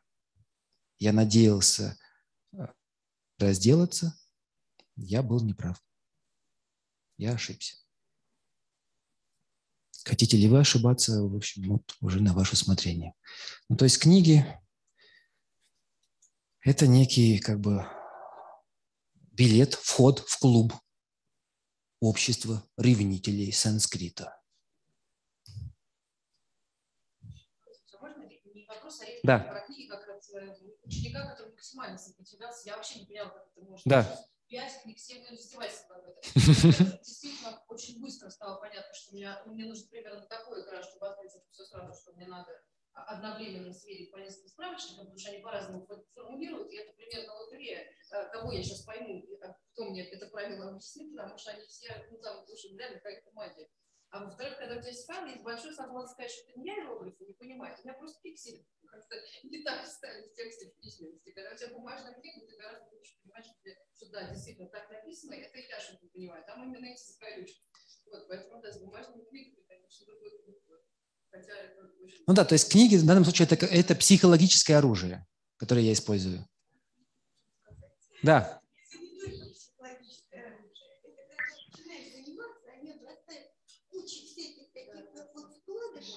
Да, и потом начинается, значит, вот по этим вкладышам. Здесь одна лежит, здесь вторая, здесь третья, здесь четвертая. Зато это такой кайф, когда находишь причастие прошедшего времени, да еще с вами. Ну. И ты начинаешь понимать, что все эти книги между собой разговаривают. И вот когда я их издавал, я это не имел в виду. Но я сам теперь вижу, что, оказывается, идет такая перекличка. И это для меня ну, неожиданно, но это моменты э, глубокой радости. То есть я понимаю, зачем я все это делал, когда вот я вижу, как книги между собой разговаривают, как один автор зародил какую-то идею, которую другой автор развил, и, или наоборот, один сказал, это плохо, а другой переформулировал, и стало понятно. Но то, что понятно, вот есть, есть те, кому Кочергина непонятно, да? То есть не потому, что человек плохой, а просто потому, что не подходит учебник. И они уходят к Бюллеру, хотя он сложнее. Да, лучше иметь сразу два, чтобы, соответственно, со всех сторон это на вас давило. То есть вы были вольными соколами до сегодняшнего дня, свободными людьми. А теперь вы добровольно вступаете в каторгу. Когда я начал изучать санскрит, я побрился на лысо. Я чувствовал что-то неладное. В смысле, я не понимал тогда еще, что я делаю. Но вот я побрился, думаю, так, что-то что меняется. Я был свободным. Да. Я тогда не понимал, что это и зачем это. Но потом, уже 20 лет спустя, я, меня, начал до меня доходить, что да, что-то я предчувствовал. Да, нужна интуиция. Если у вас нет интуиции, делать с санскритом вам, не, конечно, нечего. То есть помимо того, что вам придется 14 книг удерживать в голове, или хотя бы 13, нужна, конечно, интуиция. Да, но это со временем. Да. Будет ли возможность посмотреть запись Я думаю, что да, если э, Zoom не упадет, да, запись у нас будет вестись. Но имейте в виду, что если вы не приходите несколько раз подряд, то это может э, закончиться печально. Мой опыт показывает, что ученик, который не пришел на четыре занятия подряд, больше не приходит. А если приходит, ему так стыдно, что уже, в общем, он снова не, потом снова не приходит. Домашку мы проверяем на уроках, и, соответственно, домашку мы проверяем на уроках, а делаем, соответственно, дома. То есть основная работа не на занятиях, основная работа дома. Проверка, э, значит, проверяем все вместе на уроках. На... Это прилюдная порка. Соответственно, если вы домашку сделали частично, то есть обычно кто спрашивает, а что, надо было делать домашку целиком? И тогда ты понимаешь, что хорошо, сейчас ты покажешь, что такое целиком. Ну, я дозирую. Я никого не, не уничтожаю. Чуточку. Прессую. Скажем так, я прессую. То есть я не, ну как бы, не знаю. Вообще московский подход изучения санскрита, он достаточно мягкий, поэтому я достаточно мягкий на самом деле. Палка. Вы почувствуете, когда я зол. Э, я злюсь редко. В смысле, я на самом деле, я в вас узнаю себя. То есть, ну, все, что вы не понимаете, я тоже не понимал. То есть вы ничего особенно такого другого не понимаете. Вы то же самое, что я не понимал, вы тоже не понимаете. Я, я видел это столько раз, что я уже заранее как бы стараюсь вам помочь.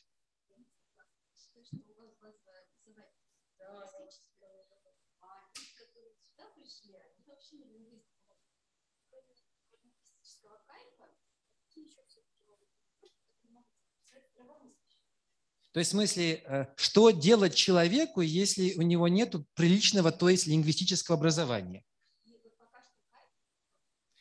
А, да, он не ловит, но когда к э, МНО пришел Ван Нотен, он ему сказал, значит, иди запишись на курс общей лингвистики перед тем, как начать изучать санскрит. Ну, получается, вам все равно придется, ну, просто, как, Придется знакомиться с терминологией через меня. То есть я буду ваш проводник в мир лингвистической терминологии. Но ее невозможно избежать. И подсластить ее невозможно. Ну, то есть ученики, бывает, спрашивают, почему не сказать просто? Почему это сказано так заумно? Вот от этого, пожалуй, ну, то есть э, поэтому и нужен я, что я перевожу с умного на понятный. Ну вот, пожалуй, да. Ну да, мое образование, наверное, отличается в этом плане, что мне легче, мне легче, но с другой стороны, я видел все, я помню все свои страдания, и на самом деле, там, где я мучился, вы уже не мучаетесь так сильно, потому что я уже знаю, куда вас послать. А я не знал, где, куда, куда, что открыть и куда посмотреть мне. Поэтому вам на самом деле уже легче. И, и только из чувства глубокого сострадания я постоянно вас буду бить.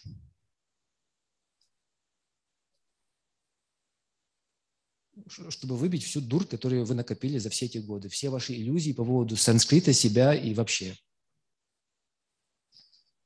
Советуйте, пожалуйста, как набирать санскритские тексты на компьютере?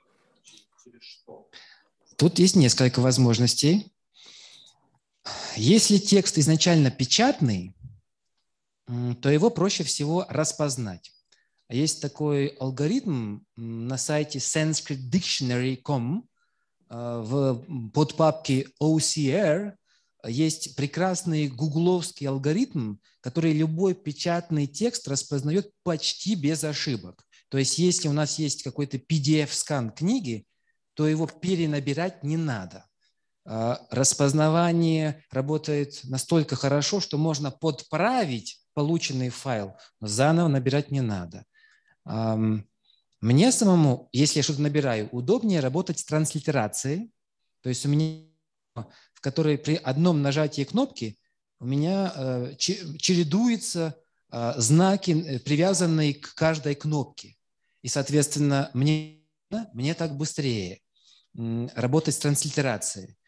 Но вот, ага, ну вот как раз вот еще один интересный момент. А, почему мы начинаем с Деванагари? Ведь санскрит и Деванагари никак не связаны. Деванагари можно использовать для записи хоть русского языка. Но а, если вы когда-либо столкнетесь с индусами в Индии, вы поймете, что ваш транслит они не читают от слова вообще. И пока вы не покажете что-то в Деванагари, они не будут понимать, о чем вы говорите. То есть это чисто такой психологический момент. А, если вы хотите обратиться к индусу, то на севере Деванагари, на юге какое-нибудь там э, южноиндийское письмо. Да? То есть, например, э, Ушина мама, то есть, казалось бы, семья образованная и не крестьяне, а Деванагари за жизнь не выучила. То есть на юге, например, Деванагари не котируется. Но так как нам все равно надо выучить какую-то индийскую письменность, то мы берем Деванагари. Если выучить Деванагари, то любую другую уже, они все построены по одному тому же принципу, это уже не так сложно. То есть Деванагари э, получается, ну вот мне чисто психологически удобнее работать с транслитерацией. А вот Уша, например, транслитерацию не воспринимает от слова вообще, хотя она кандидат филологических наук, так же, как и я. Ну, то есть, казалось бы, имеет какое-то образование и могла бы и постараться, но нет. Э, э, кровь из глаз, э, никакого транслита. Поэтому тут вот и существуют вот эти два разных мира. Мир академической европейской санскритологии и мир индийской санскритологии. И эти, эти миры не пересекаются. Они существуют параллельно. Да, то есть как бы если у нас э, Windows, то с ним все просто. Для Macintosh есть отдельная программа, и для айфонов, а для андроидов отдельная. То есть есть как бы некий джентльменский набор софта. А в случае винды это просто маленькое приложение, которое к каждой кнопке привязывает определенный набор знаков, которые можно прочередовать. То есть нужна мне Т церебральная, я нажал знак равенства, а, значит, после Т, и получил вместо Т Т церебральную. Ну, собственно, вот самый быстрый способ. Ну да, то есть как бы это не проблема. Все вот это можно выдать. Да. То есть это такой чисто технический вопрос, он решен и решается, в общем, легко. Это раньше были проблемы, когда не было Юникода. Вот в Индии, например, большинство книг до сих пор верстается в программе Adobe PageMaker. То есть они не подозревают, что э, изобрели Unicode. То есть каждая книга написана у них отдельной кодировкой. То есть то, что существует в интернете, они искать не могут. То есть если вы возьмете какой-то кусок из индийской книги, сверстанной, и закопипастите, то вы ничего не найдете, потому что они набраны в той э, допотопной кодировке. То есть в Индии не подозревают, что существует Unicode, они живут так, как жили 30 лет тому назад, когда изобрели PageMaker. То есть есть такие технические моменты, их надо учитывать. Да, то есть если вы хотите что-то найти, например, вот э, чисто санскритское, то искать вам нужно не в транслите, получается, а на Деванагари и вы увидите ту часть интернета, которая вам до этого была недоступна. То есть дивный мир, отдельный мир санскритского интернета. Но только на Деванагаре. Если в чате вопрос... Есть, есть какой-то вопрос. Если есть только Linux. И таких мы лечим. Есть способ, э, есть способ э, чуть сложнее, но ам, есть способ набора транслитерации Деванагари. Чуть дольше приходится повозиться, но вполне возможно. Да-да, Linux, э, в смысле, вот вполне можно победить. Например, Сергей Дмитриевич Серебряный, переводчик Рамаяны, он сидит как раз на Ubuntu. То есть, то есть можно работать с санскритом и быть юниксоидом. Это не возбраняется.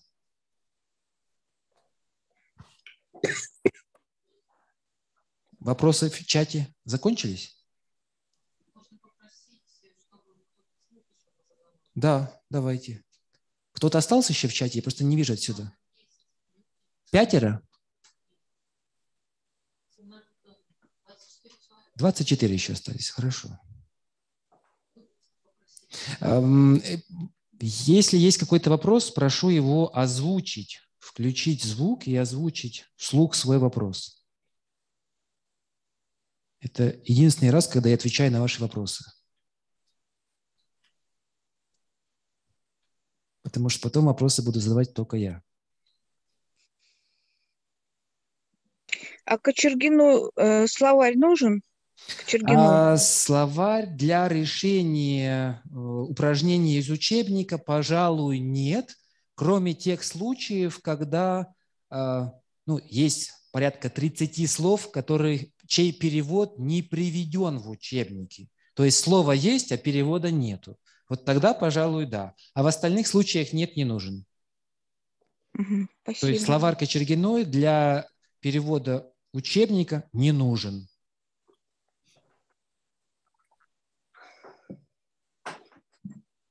Что-то вы подустали уже от меня. Так, у нас же есть, у нас же есть э, песня в запасе. А, Теперь только надо понять. Уша, are you there still? Yes. Воп- вопросов у нас больше нету в чате? Или, или кто-то еще готов? Если нет, тогда я предлагаю ну, потихоньку закругляться. Didi, can you uh, please sing us lullaby? Yes, sure. Окей. И Теперь будет э, культурная программа. Значит, у нас в аудитории находится учитель учителя, да, то есть как бы вот и бывает учитель, а бывает учитель учителя. Вот.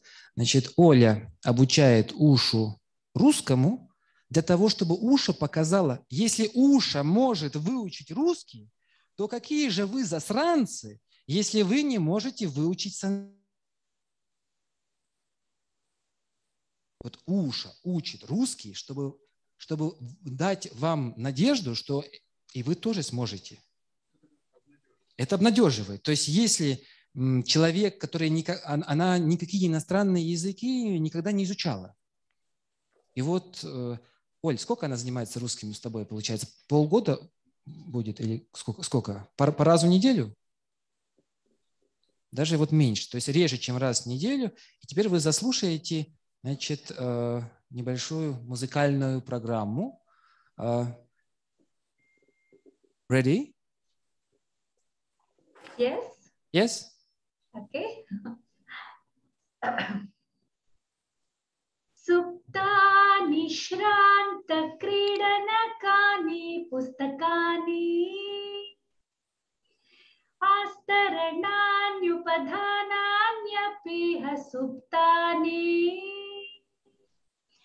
परिकथा अपि शयनं याति, तव स्वप्ने विहर्तुमिच्छति, तं हि शुभं वदा। दोला परिकथायामिन्दुमारोढुं शक्यते। द्रवितुं शक्यः तुरङ्गपृष्ठे सुरचापो गजबालेन मैत्री शक्या अग्निविहङ्गपक्षौ स्पृशेम निमिलतनुनयने। दोली दोला। दोली दोला। सर्वे रात्रौ निद्रान्ति दोलिदोलः नवदिनं श्व आयाति। अधुना वयमिह क्लांता स्मः सर्वान् वदेम शुभरात्रीति निमीलतनुनयने। दोली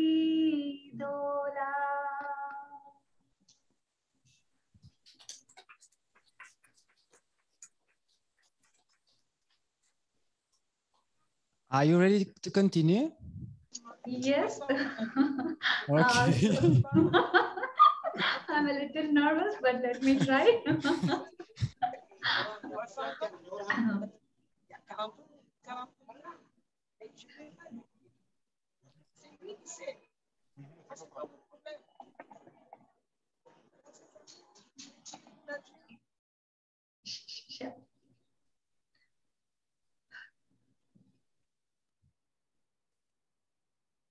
Someone speaking? Yes.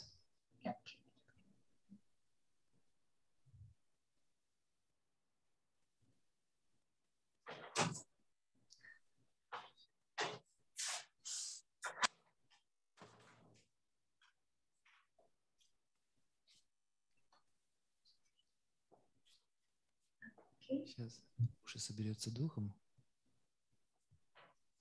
You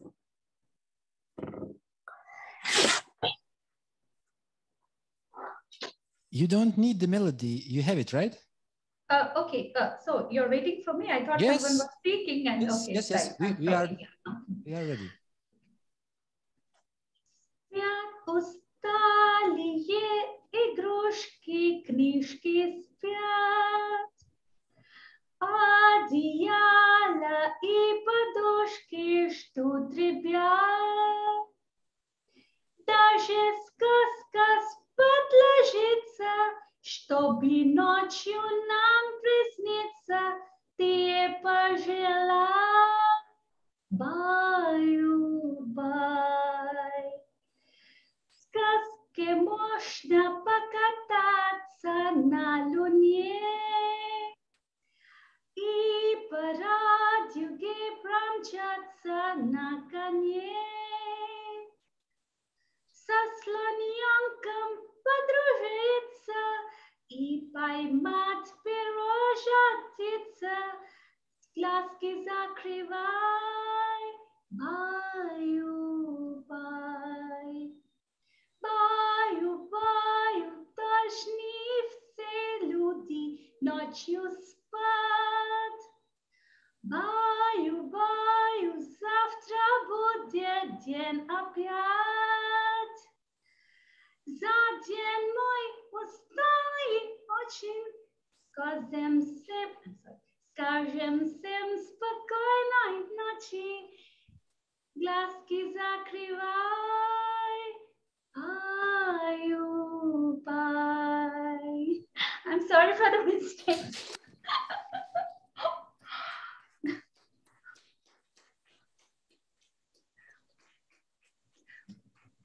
Thank you.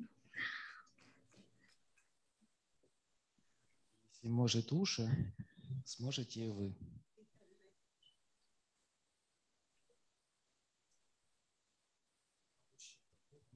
Мужчины есть. Вот Николай, э, значит, э, вот на усатую женщину он не похож, значит, э, вот пример того, что вот можно даже мужчинам, то есть мужчин, конечно, у нас всегда они в меньшинстве, но это не значит, что их нету.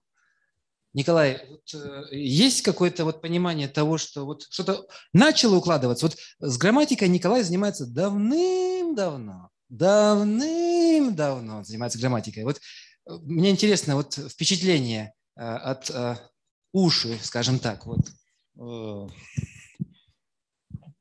я вообще, так чуть-чуть про себя, да, я начал заниматься санскритом, потому что начал заниматься йогой сначала. И я почему-то подумал, что вот йогой просто так нельзя заниматься, не зная санскрита. Поставил себе задачу выучить санскрит, э, причем решил его самостоятельно все это сделать. После, по-моему, четвертого урока я сразу... А, я Наталье Павловне Лихушиной позвонил сначала, говорю, я сам выучу. Она говорит, а, понятно, вот, хорошо так. Говорит, научи.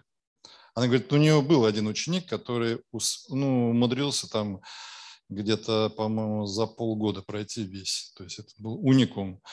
но я на четвертом занятии скис э, и понял, что мне надо изучать. Вот, и я прошел сначала, я видел, как вот Марцис Юрьевич говорил, что сначала группа там 25 человек у нее, по-моему, было, или 30. На второй год уже осталось где-то человек там, ну, 10, наверное. И уже к Бюллеру подошло трое, да. Почему исключительно мужчины, не знаю, почему так. Были очень интересные, ну, так скажем, личности. Был полковник один, Вайшнав, и вот такие вот люди, просто я не понимал, как это может в человеке вот таком военном сочетаться. Он мне сказал а, удивительную вещь тогда. Очень многие вещи узнаешь с другой точки зрения. Он говорит, я понял, что вот в моем генерале, там, да, начальнике, в нем энергии Вишну больше, какой бы он ни был дурак. Значит, я его почитаю именно только за это. Ну, то есть это удивительный мир. Вот, и ну, помимо, помимо того, что мне в йоге это стало очень помогать, и я стал читать в подлиннике те вещи, которые пять тысяч лет назад были записаны, да, та, та же Ригведа, да, по-моему, она вот там уже относит, отходит от нас там третье тысячелетие до нашей эры. Очень круто. И ты когда вот начинаешь читать, там, мороз, там мурашки бегут по коже, там думаешь, господи, это такой кайф, да, вот. Э, и Марцис Юрьевич совершенно верно сказал, что в какой-то момент э, вот эти есть отчаяние, да, когда думаешь, ну, господи, где же я? Э, мне никто не объяснил, может быть, это вот вашим будет методическом, как бы а, в методике преподавания, что санскрит это, вот когда ты берешь вот такую строку длинную, она бесконечная, понимаете, ее надо сначала вот нарезать, да, такой вот, ну, правильно нарезать, потому что иногда думаешь, что ты правильно разрезал, и все поменялось оно и думаешь, ну как же так, вот я же вот умный весь из себя такой, да. Вот. Ничего страшного, да, даже если у вас придет отчаяние, и вы на какое-то время не бросите, а возьмете паузу, да, вы возьмете паузу. Я для себя взял паузу, и потом через вот некоторое время я все равно вернулся, потому что, э, ну, э, Э, мы с, нашей, с моей супругой, да, мы организовали школу по йога-терапии уже. То есть это за нами линия Парампары, там учителей по йоге, по аюрведе. И когда вы читаете в подлиннике там Чарука Самхиту, понимаете, и там Вакбхату, э, йога-сутры Патанджаль, вам уже никто ничего не навешает на уши, понимаете. А это очень важно сейчас в э, современном мире, э, донести людям вот то, что действительно вот реально написано, да, и когда в той же Бхагавадгите берете там кришнаитский перевод, там, я не хочу никак комментировать, да, но если там переводит Пуруши как сознание Кришны, э, то с точки зрения переводчика это нонсенс, понимаете, да, Пуруши ну, два основных значения, да, это вселенский дух и человек, ну, мужчина, да, и поэтому это очень важно, когда вы доходите до сути, и вот эта радость, вот этот кайф, когда вы ну, вот это прям вот вот, э, вот из этой золотинки, потом там она может быть, как нам говорил один из преподавателей йоги, что бриллиант, который в навозе валяется, он остается бриллиантом. Но надо его вот правильно вычистить, да, и вы тогда получаете такой кайф от, от этого, когда золото вот это находится. Это действительно, по-моему, выше этого нет. А напевность помогает? Вот когда ты отчаялся вот с этой грамматикой, она помогает, вдохновляет или она вот как? Вот, умение красиво читать нужно? Напевный для меня было откровением, да, и я недаром э, к Мартусу Юрьевичу давно за ним наблюдаю и видел его рост, и радовался всем успехам, наверное, давным-давно уже как так переписываемся. А, к сожалению, мне не хватило, вот у Натальи Павловны, ну просто он так курс на по Кочергиной устроен, что там мало, собственно, рецитации на санскрите. И, ну, шлока там получается татан, татан, татан, татан, тадан, дадан, да, да, да, да. И вроде это все. А когда ты там послушал э, в интернете Бхагавадгиту, например, исполнение, ты понимаешь, что ты не понял ничего понимаете, да? И для меня было откровением, когда я пришел вот осенью на санскритский напев, я понял, что я не знаю вот этой огромной и великого вот этого напевного санскрита. Когда вы пропевать начинаете, и внутри вас начинает что-то такое мощное работать. Я не эзотерик старой формации Советского Союза. Для меня очень сложно даются вот эти эзотерические вещи. Э, мне как-то сказал кто-то, ты джняна йога занимаешься, а не просто йогой. Это самое сложное доказательство Бога с помощью формул, понимаете? Так вот, санскрит – это те же формулы, только они более красиво, более поэтично приводят нас к пониманию Всевышнего. И для меня это стало откровением, в том числе и с напевной частью. То есть, когда я понял, что нету, ну, мне э, Наталья Павловна э, говорила еще, что э, ударение может ставиться в зависимости от размерности, но вот я, например, а, на занятиях у Марциса узнал, что важны долготы. Ударения нету, есть долготы. И для меня это было совершенно по-новому, да, хотя я, я и музыкой в свое время занимался там в детстве, да, для меня это мне помогало. Но да, именно протяжность звука есть. А... Э, получается, мы, мы не натягиваем какую-то мелодию на, э, то есть мелодия вторична. Нам важно соблюсти чередование. И соблюдая чередование, это звучит просто ты понимаешь, что ты не можешь протянуть долгую долгой или краткой краткой. Ты начинаешь тянуть краткую, не дотягивать долгую. И так все время. И смысл причем меняется, слово тогда, понимаете? То есть, и это очень важно, особенно, ну, поскольку я вот, э, ну, в йоге так себя считаю, хотя мне кто-то говорит, что ты не йог, вообще никто ты. Ну, у каждого найдутся свои критики. Но дело в том, что когда э, вот санскритский язык – это язык богов, недаром, да, ахам вадами санскритом, сада саурами санскритом, да, когда я, и теперь я начинаю, одно из первых гимн санскриту, и теперь я начинаю говорить на санскрите, на котором говорят боги, понимаете? А недаром Мартус Юрьевич сказал, вот там интересная вот эта схема, да, соответствие санскритских букв а, первоэлементам вода, земля, огонь, эфир, да. А есть другое, например, там э, э, э, гимн создания Пуруши, это, по-моему, Самоведа, да, если я не ошибаюсь. Как боги создают первого человека. Каждый, ну, условно говоря, приходит со своей мантрой, начинает ее правильно петь, и там кто-то печень вложил, кто-то руку, кто-то голову. И так создается человек с помощью мантр и в, в это золотую югу, да, так и создавали детей. То есть два любящих существа, мужчина и женщина, сочетались браком, пели мантру, и появлялся ребеночек, понимаете, да? И это не просто какие-то слова, то есть э, вот занимаясь уже йогой, йога-терапией, э, есть мантры и по чакрам, там земля, вода, ну, вода, огонь и так далее. Мы идем по чакрам – там санскритский алфавит записан, понимаете? Вот, например, для Вишудхи чакры там только гласные буквы идут. Для анахаты чакры как раз там идут по лепесточке как, ха, га, ха. И когда я это увидел, я думаю, господи, санскритский алфавит пронизывает не только... Оно и тело, и тело. Вот. Все, я буду, буду краток. Спасибо большое за предоставленное слово. Спасибо. А, у Уши была мечта.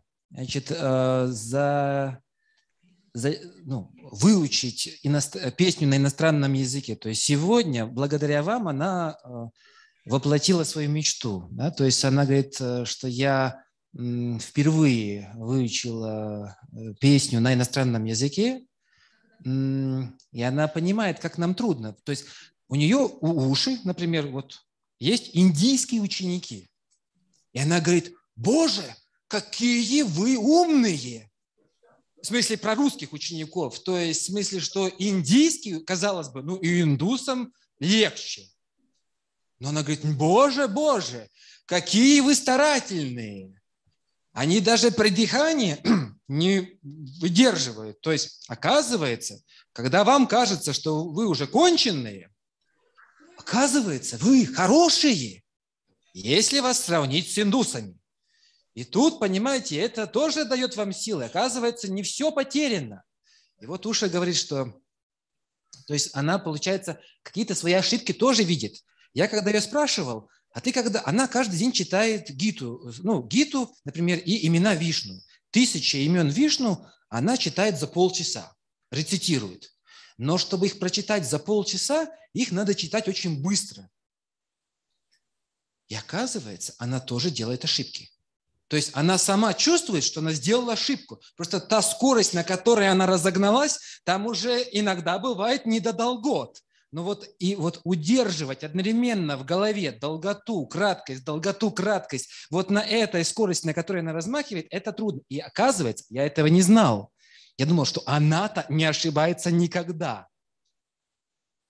Оказывается, она сама чувствует, что когда ошибается, то есть ей нужно замедлять. Получается, мы когда учим шлоку, в смысле ануштубх, мы его не учим на той скорости, которая обычная. Обычно шлоку мы читаем за 18 секунд. 17, 18, 19 секунд. А чтобы ее выучить, ее надо замедлить до 23 секунд. И тогда, медленно поняв, как это устроено, мы можем ускоряться до режима джапы, делая незначительные ошибки, но стараясь удерживать это все в голове. Это трудно. Уша защитила кандидатскую на санскрите, то есть ее диссертация на санскрите о санскрите. Она ежедневно ведет многочасовые беседы на санскрите. И все равно, ускоряясь, даже она делает ошибки. Это для меня было удивительно. Я думал, что уж кто-кто, Уша не ошибается. Вот, это о том, что вот мы учим сперва медленно, мы не учим, как вот по-настоящему. Вот мы услышали какую-то мелодию, и нам хочется повторить. Но по этому пути мы идти не можем. Потому что если мы будем пытаться упихать текст в мелодию, нам придется его изнасиловать. Сперва текст, потом себя. То есть, в общем, это не есть хорошо. Если вы будете соблюдать краткие и долгие, текст сам выстроится ритмический рисунок выстроится, и на него, вот, например, а, шлоку можно зачитать семью разными способами, семью разными мелодиями. Но и они натягиваются на ритм, а не наоборот. То есть, в смысле, если вы начнете гоняться за мелодией, вы потеряете все. И у вас получится какофония. Поэтому сперва долготы. Это трудно. Вы будете тянуть краткие и не тяну. В общем, вы будете делать все наоборот. И все время. Итак, ну вот кто-то полгода, кто-то год. Обычно за полтора даже самые медвежатые все равно сдвигаются с места.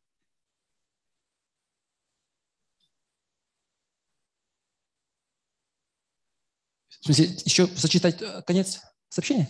Нет? Да, то есть э, так, э, может быть, кто-то еще из старичков хочет рассказать, как бывает больно? Аля? Например, я считаю, что вот рассказы бывалых – это вдохновляет. То есть, когда человек пытался бросить, но не смог. А вы же тоже попытаетесь бросить? Поэтому, Аля, расскажи, как ты пыталась бросить, например. Я не пыталась бросить. Нет, я... не пыталась. Я, я не пыталась бросить, просто в какой-то момент меня чудовищная энтропия поглотила. Э, но я, э, во-первых, э, страшно завидую тем, кто сейчас начинает, потому что я изначально шла, думала, сейчас я буду говорить на санскрите, вообще всю эту вашу грамматику, эти ваши падежи, они для слабаков, я сейчас сразу заговорю. А никаких опций это сделать тогда еще не было, надо сказать. Было полтора человека, которые умели как-то потрясающе что-то такое произнести, можно было только уронив челюсть на них посмотреть, посмотреть и понять. Ну, я, в принципе, никогда, потому что у меня как бы летний лагерь на полгода в Индию пока не планируется, а значит, я никогда не смогу заговорить.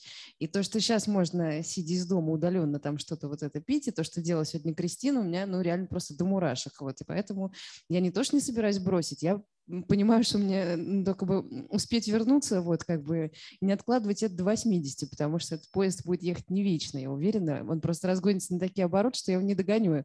Это будет уже какой-то космический корабль. Вот. Бросить ну, я точно не собиралась бросить, просто в какие-то моменты... Я, кстати, тоже начинала с мысли, сейчас я выучу сама. И через три недели борьбы с алфавитом я поняла, что не, мне нужно больше боли, потому что я как-то я какую-то неправильную себе боль поставляю. Вот. э, Но я до сих пор вязану с какими-то учебниками, но я просто параллельно по ним двигаюсь уже, честно говоря. То есть я что-то делаю из Бюллера, что-то из Кочергиной. В какие-то моменты, мне кажется, какие легкие уроки пошли, потом приходит какой-нибудь юбилейный 30-й урок Кочергиной, я понимаю, что все, здравствуйте. Вот. Но, э, конечно, с группой это вообще, опять же, другой клинкор. Этот ритм, он очень важен на самом деле. Ритм э, капец как важен в санскрите, тут не прокатит, как с английским. э, эм, Откат происходит довольно быстро. Вот. И я не уверена, это когда-нибудь кончится или нет. Должен же быть какой-то плато, после которого перестанет э, с дикой скоростью, ты ну, как сизиф перестанешь скатываться с этим камнем вниз. Или так, это так будет вообще когда-нибудь? Не, ну сколько ты лет? Можно отзаниматься, а потом ты уже перестанешь э, немедленно... А, Класс. Тогда я почти в цели.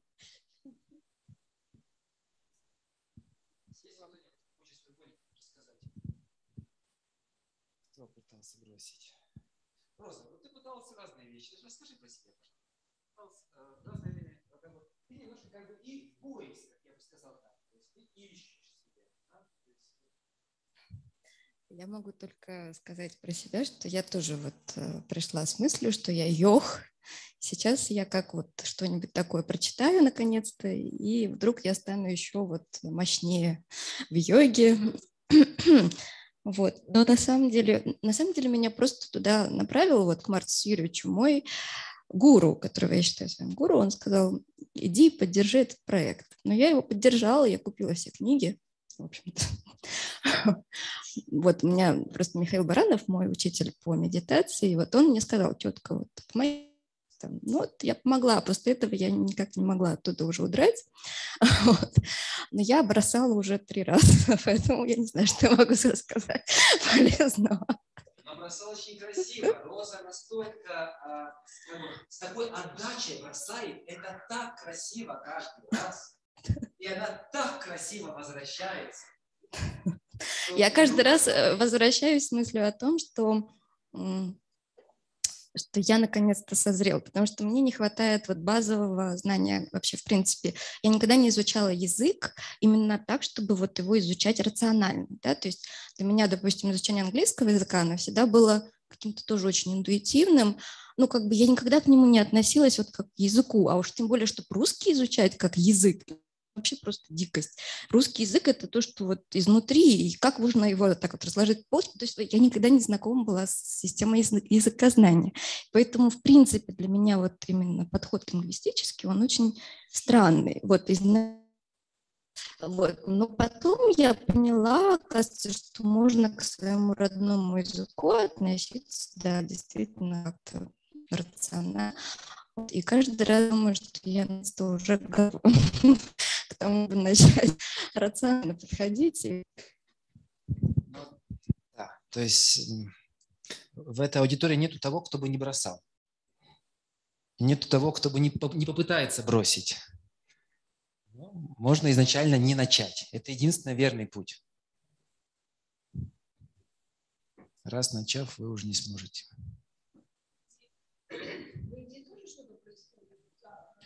В области санскрита? Лагеря, да, лагеря есть. Значит, расскажу про лагеря санскритские.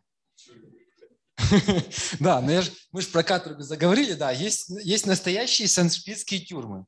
Значит, выездные, да, выездные. Значит, ам, м, в Москве есть несколько человек, которые отсидели там срок в этих тюрьмах.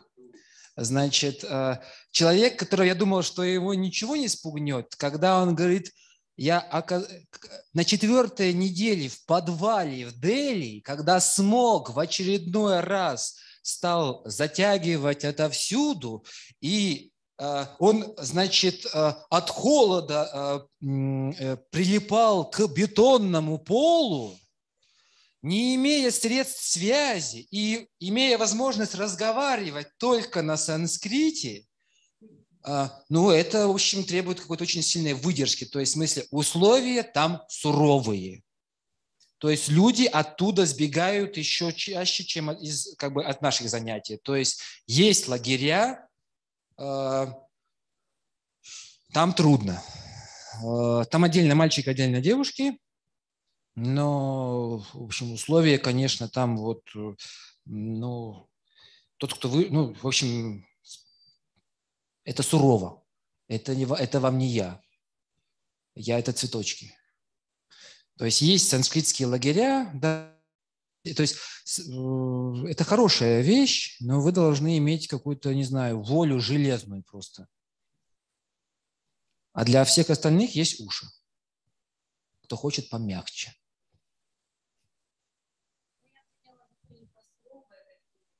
А, в смысле, такие приятные лагеря? Приятные? Нет, приятных лагерей я не знаю. Я знаю только суровые. Обучающие. Нет, ну как бы при санскритских университетах бывают там, скажем, курсы выходного дня. Такое бывает, например, в частности, Банс Хинду университет, у них есть такое. Но это на достаточно продолжительное время, скажем, там на полгода. То есть это, это не неделя и не месяц.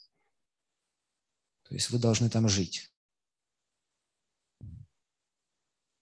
Да, то есть есть такое, но м, ну вот, не знаю, э, я- за жизнь встречался с десятками индийских санскритол- санскритологов разных, но, говорю, Уша дала мне надежду, что это возможно, потому что ну, это красиво, и ну, вот даже мужички могут, оказывается. То есть им труднее, когда все там такие красивые, значит, поют так красиво, а нам что? Нам трудно. Э, Но и мы можем, получается, оказывается. Вот это тоже неожиданно для меня.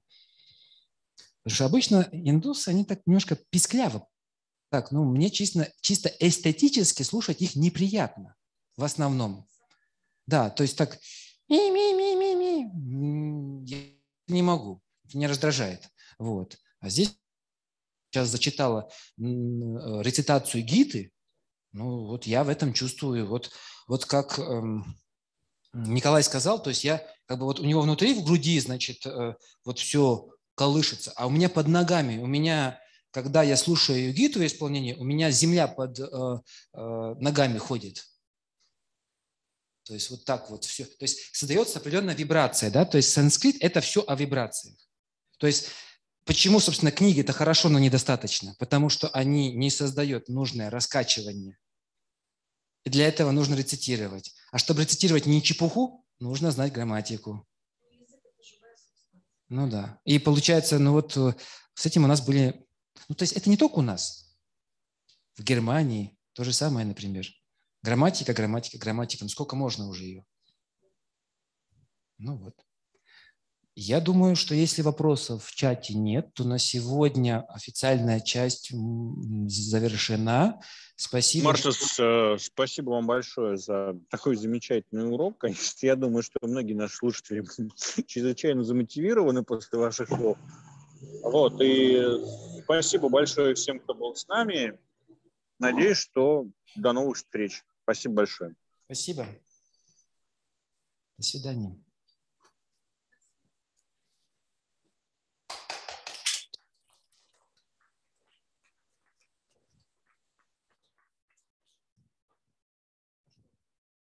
Предлагаю пообщаться более неформальной обстановке.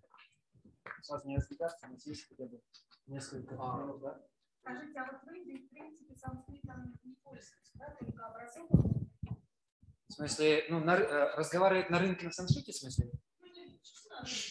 Ну, в метро, спросить, как пройти в библиотеку. Вот как пройти в библиотеку, боюсь, вас пошлют, значит, потому что не поймут. То есть получается только образованные. Ну, то есть несколько десятков тысяч людей пользуются, но не ежедневно. Нет, и на юге тоже, просто записывают одним способом, а на, на юге другим. А язык-то один. Помогло как-то э, спросить дорогу, там э, Елена хотела купить эти штучки, дрючки. И Начал говорить, она по-английски не говорит. Ага. Я на хинди не говорю. Говорит, на санскрите. Это день настал, но я не могу собрать слова. И это через пень колоду там, значит, э, начал вспоминать эти формы, все там. Вот, все-таки получилось, понимаете? Вот оно получилось. Там причем, видно, была богатая женщина, это она приехала на Там охранники пытались меня оттолкнуть, а где нет, мы так через пень колоды, она прям так восхищена была. Деванагари даст вам доступ к индийским туалетам. Вы будете понимать, они существуют под разными именами. Значит, э, э, да, Урина Хаус, например, и все такое, и все записано на Дева- на Деванагари. Вот. То есть вам уже откроется дивный мир. Значит, а, ну вот даже плохой санскрит, получается, дает ключ к каким-то вот блатам. Все это сан- санскрит. Нет, это Деванагари, это шрифт у них один, у хинди, у Деванагари. Ну, в храме, наверное, они не станут писать на хинди. То есть, да, большинство всего этого, конечно, санскрит. Там откроется дивный мир.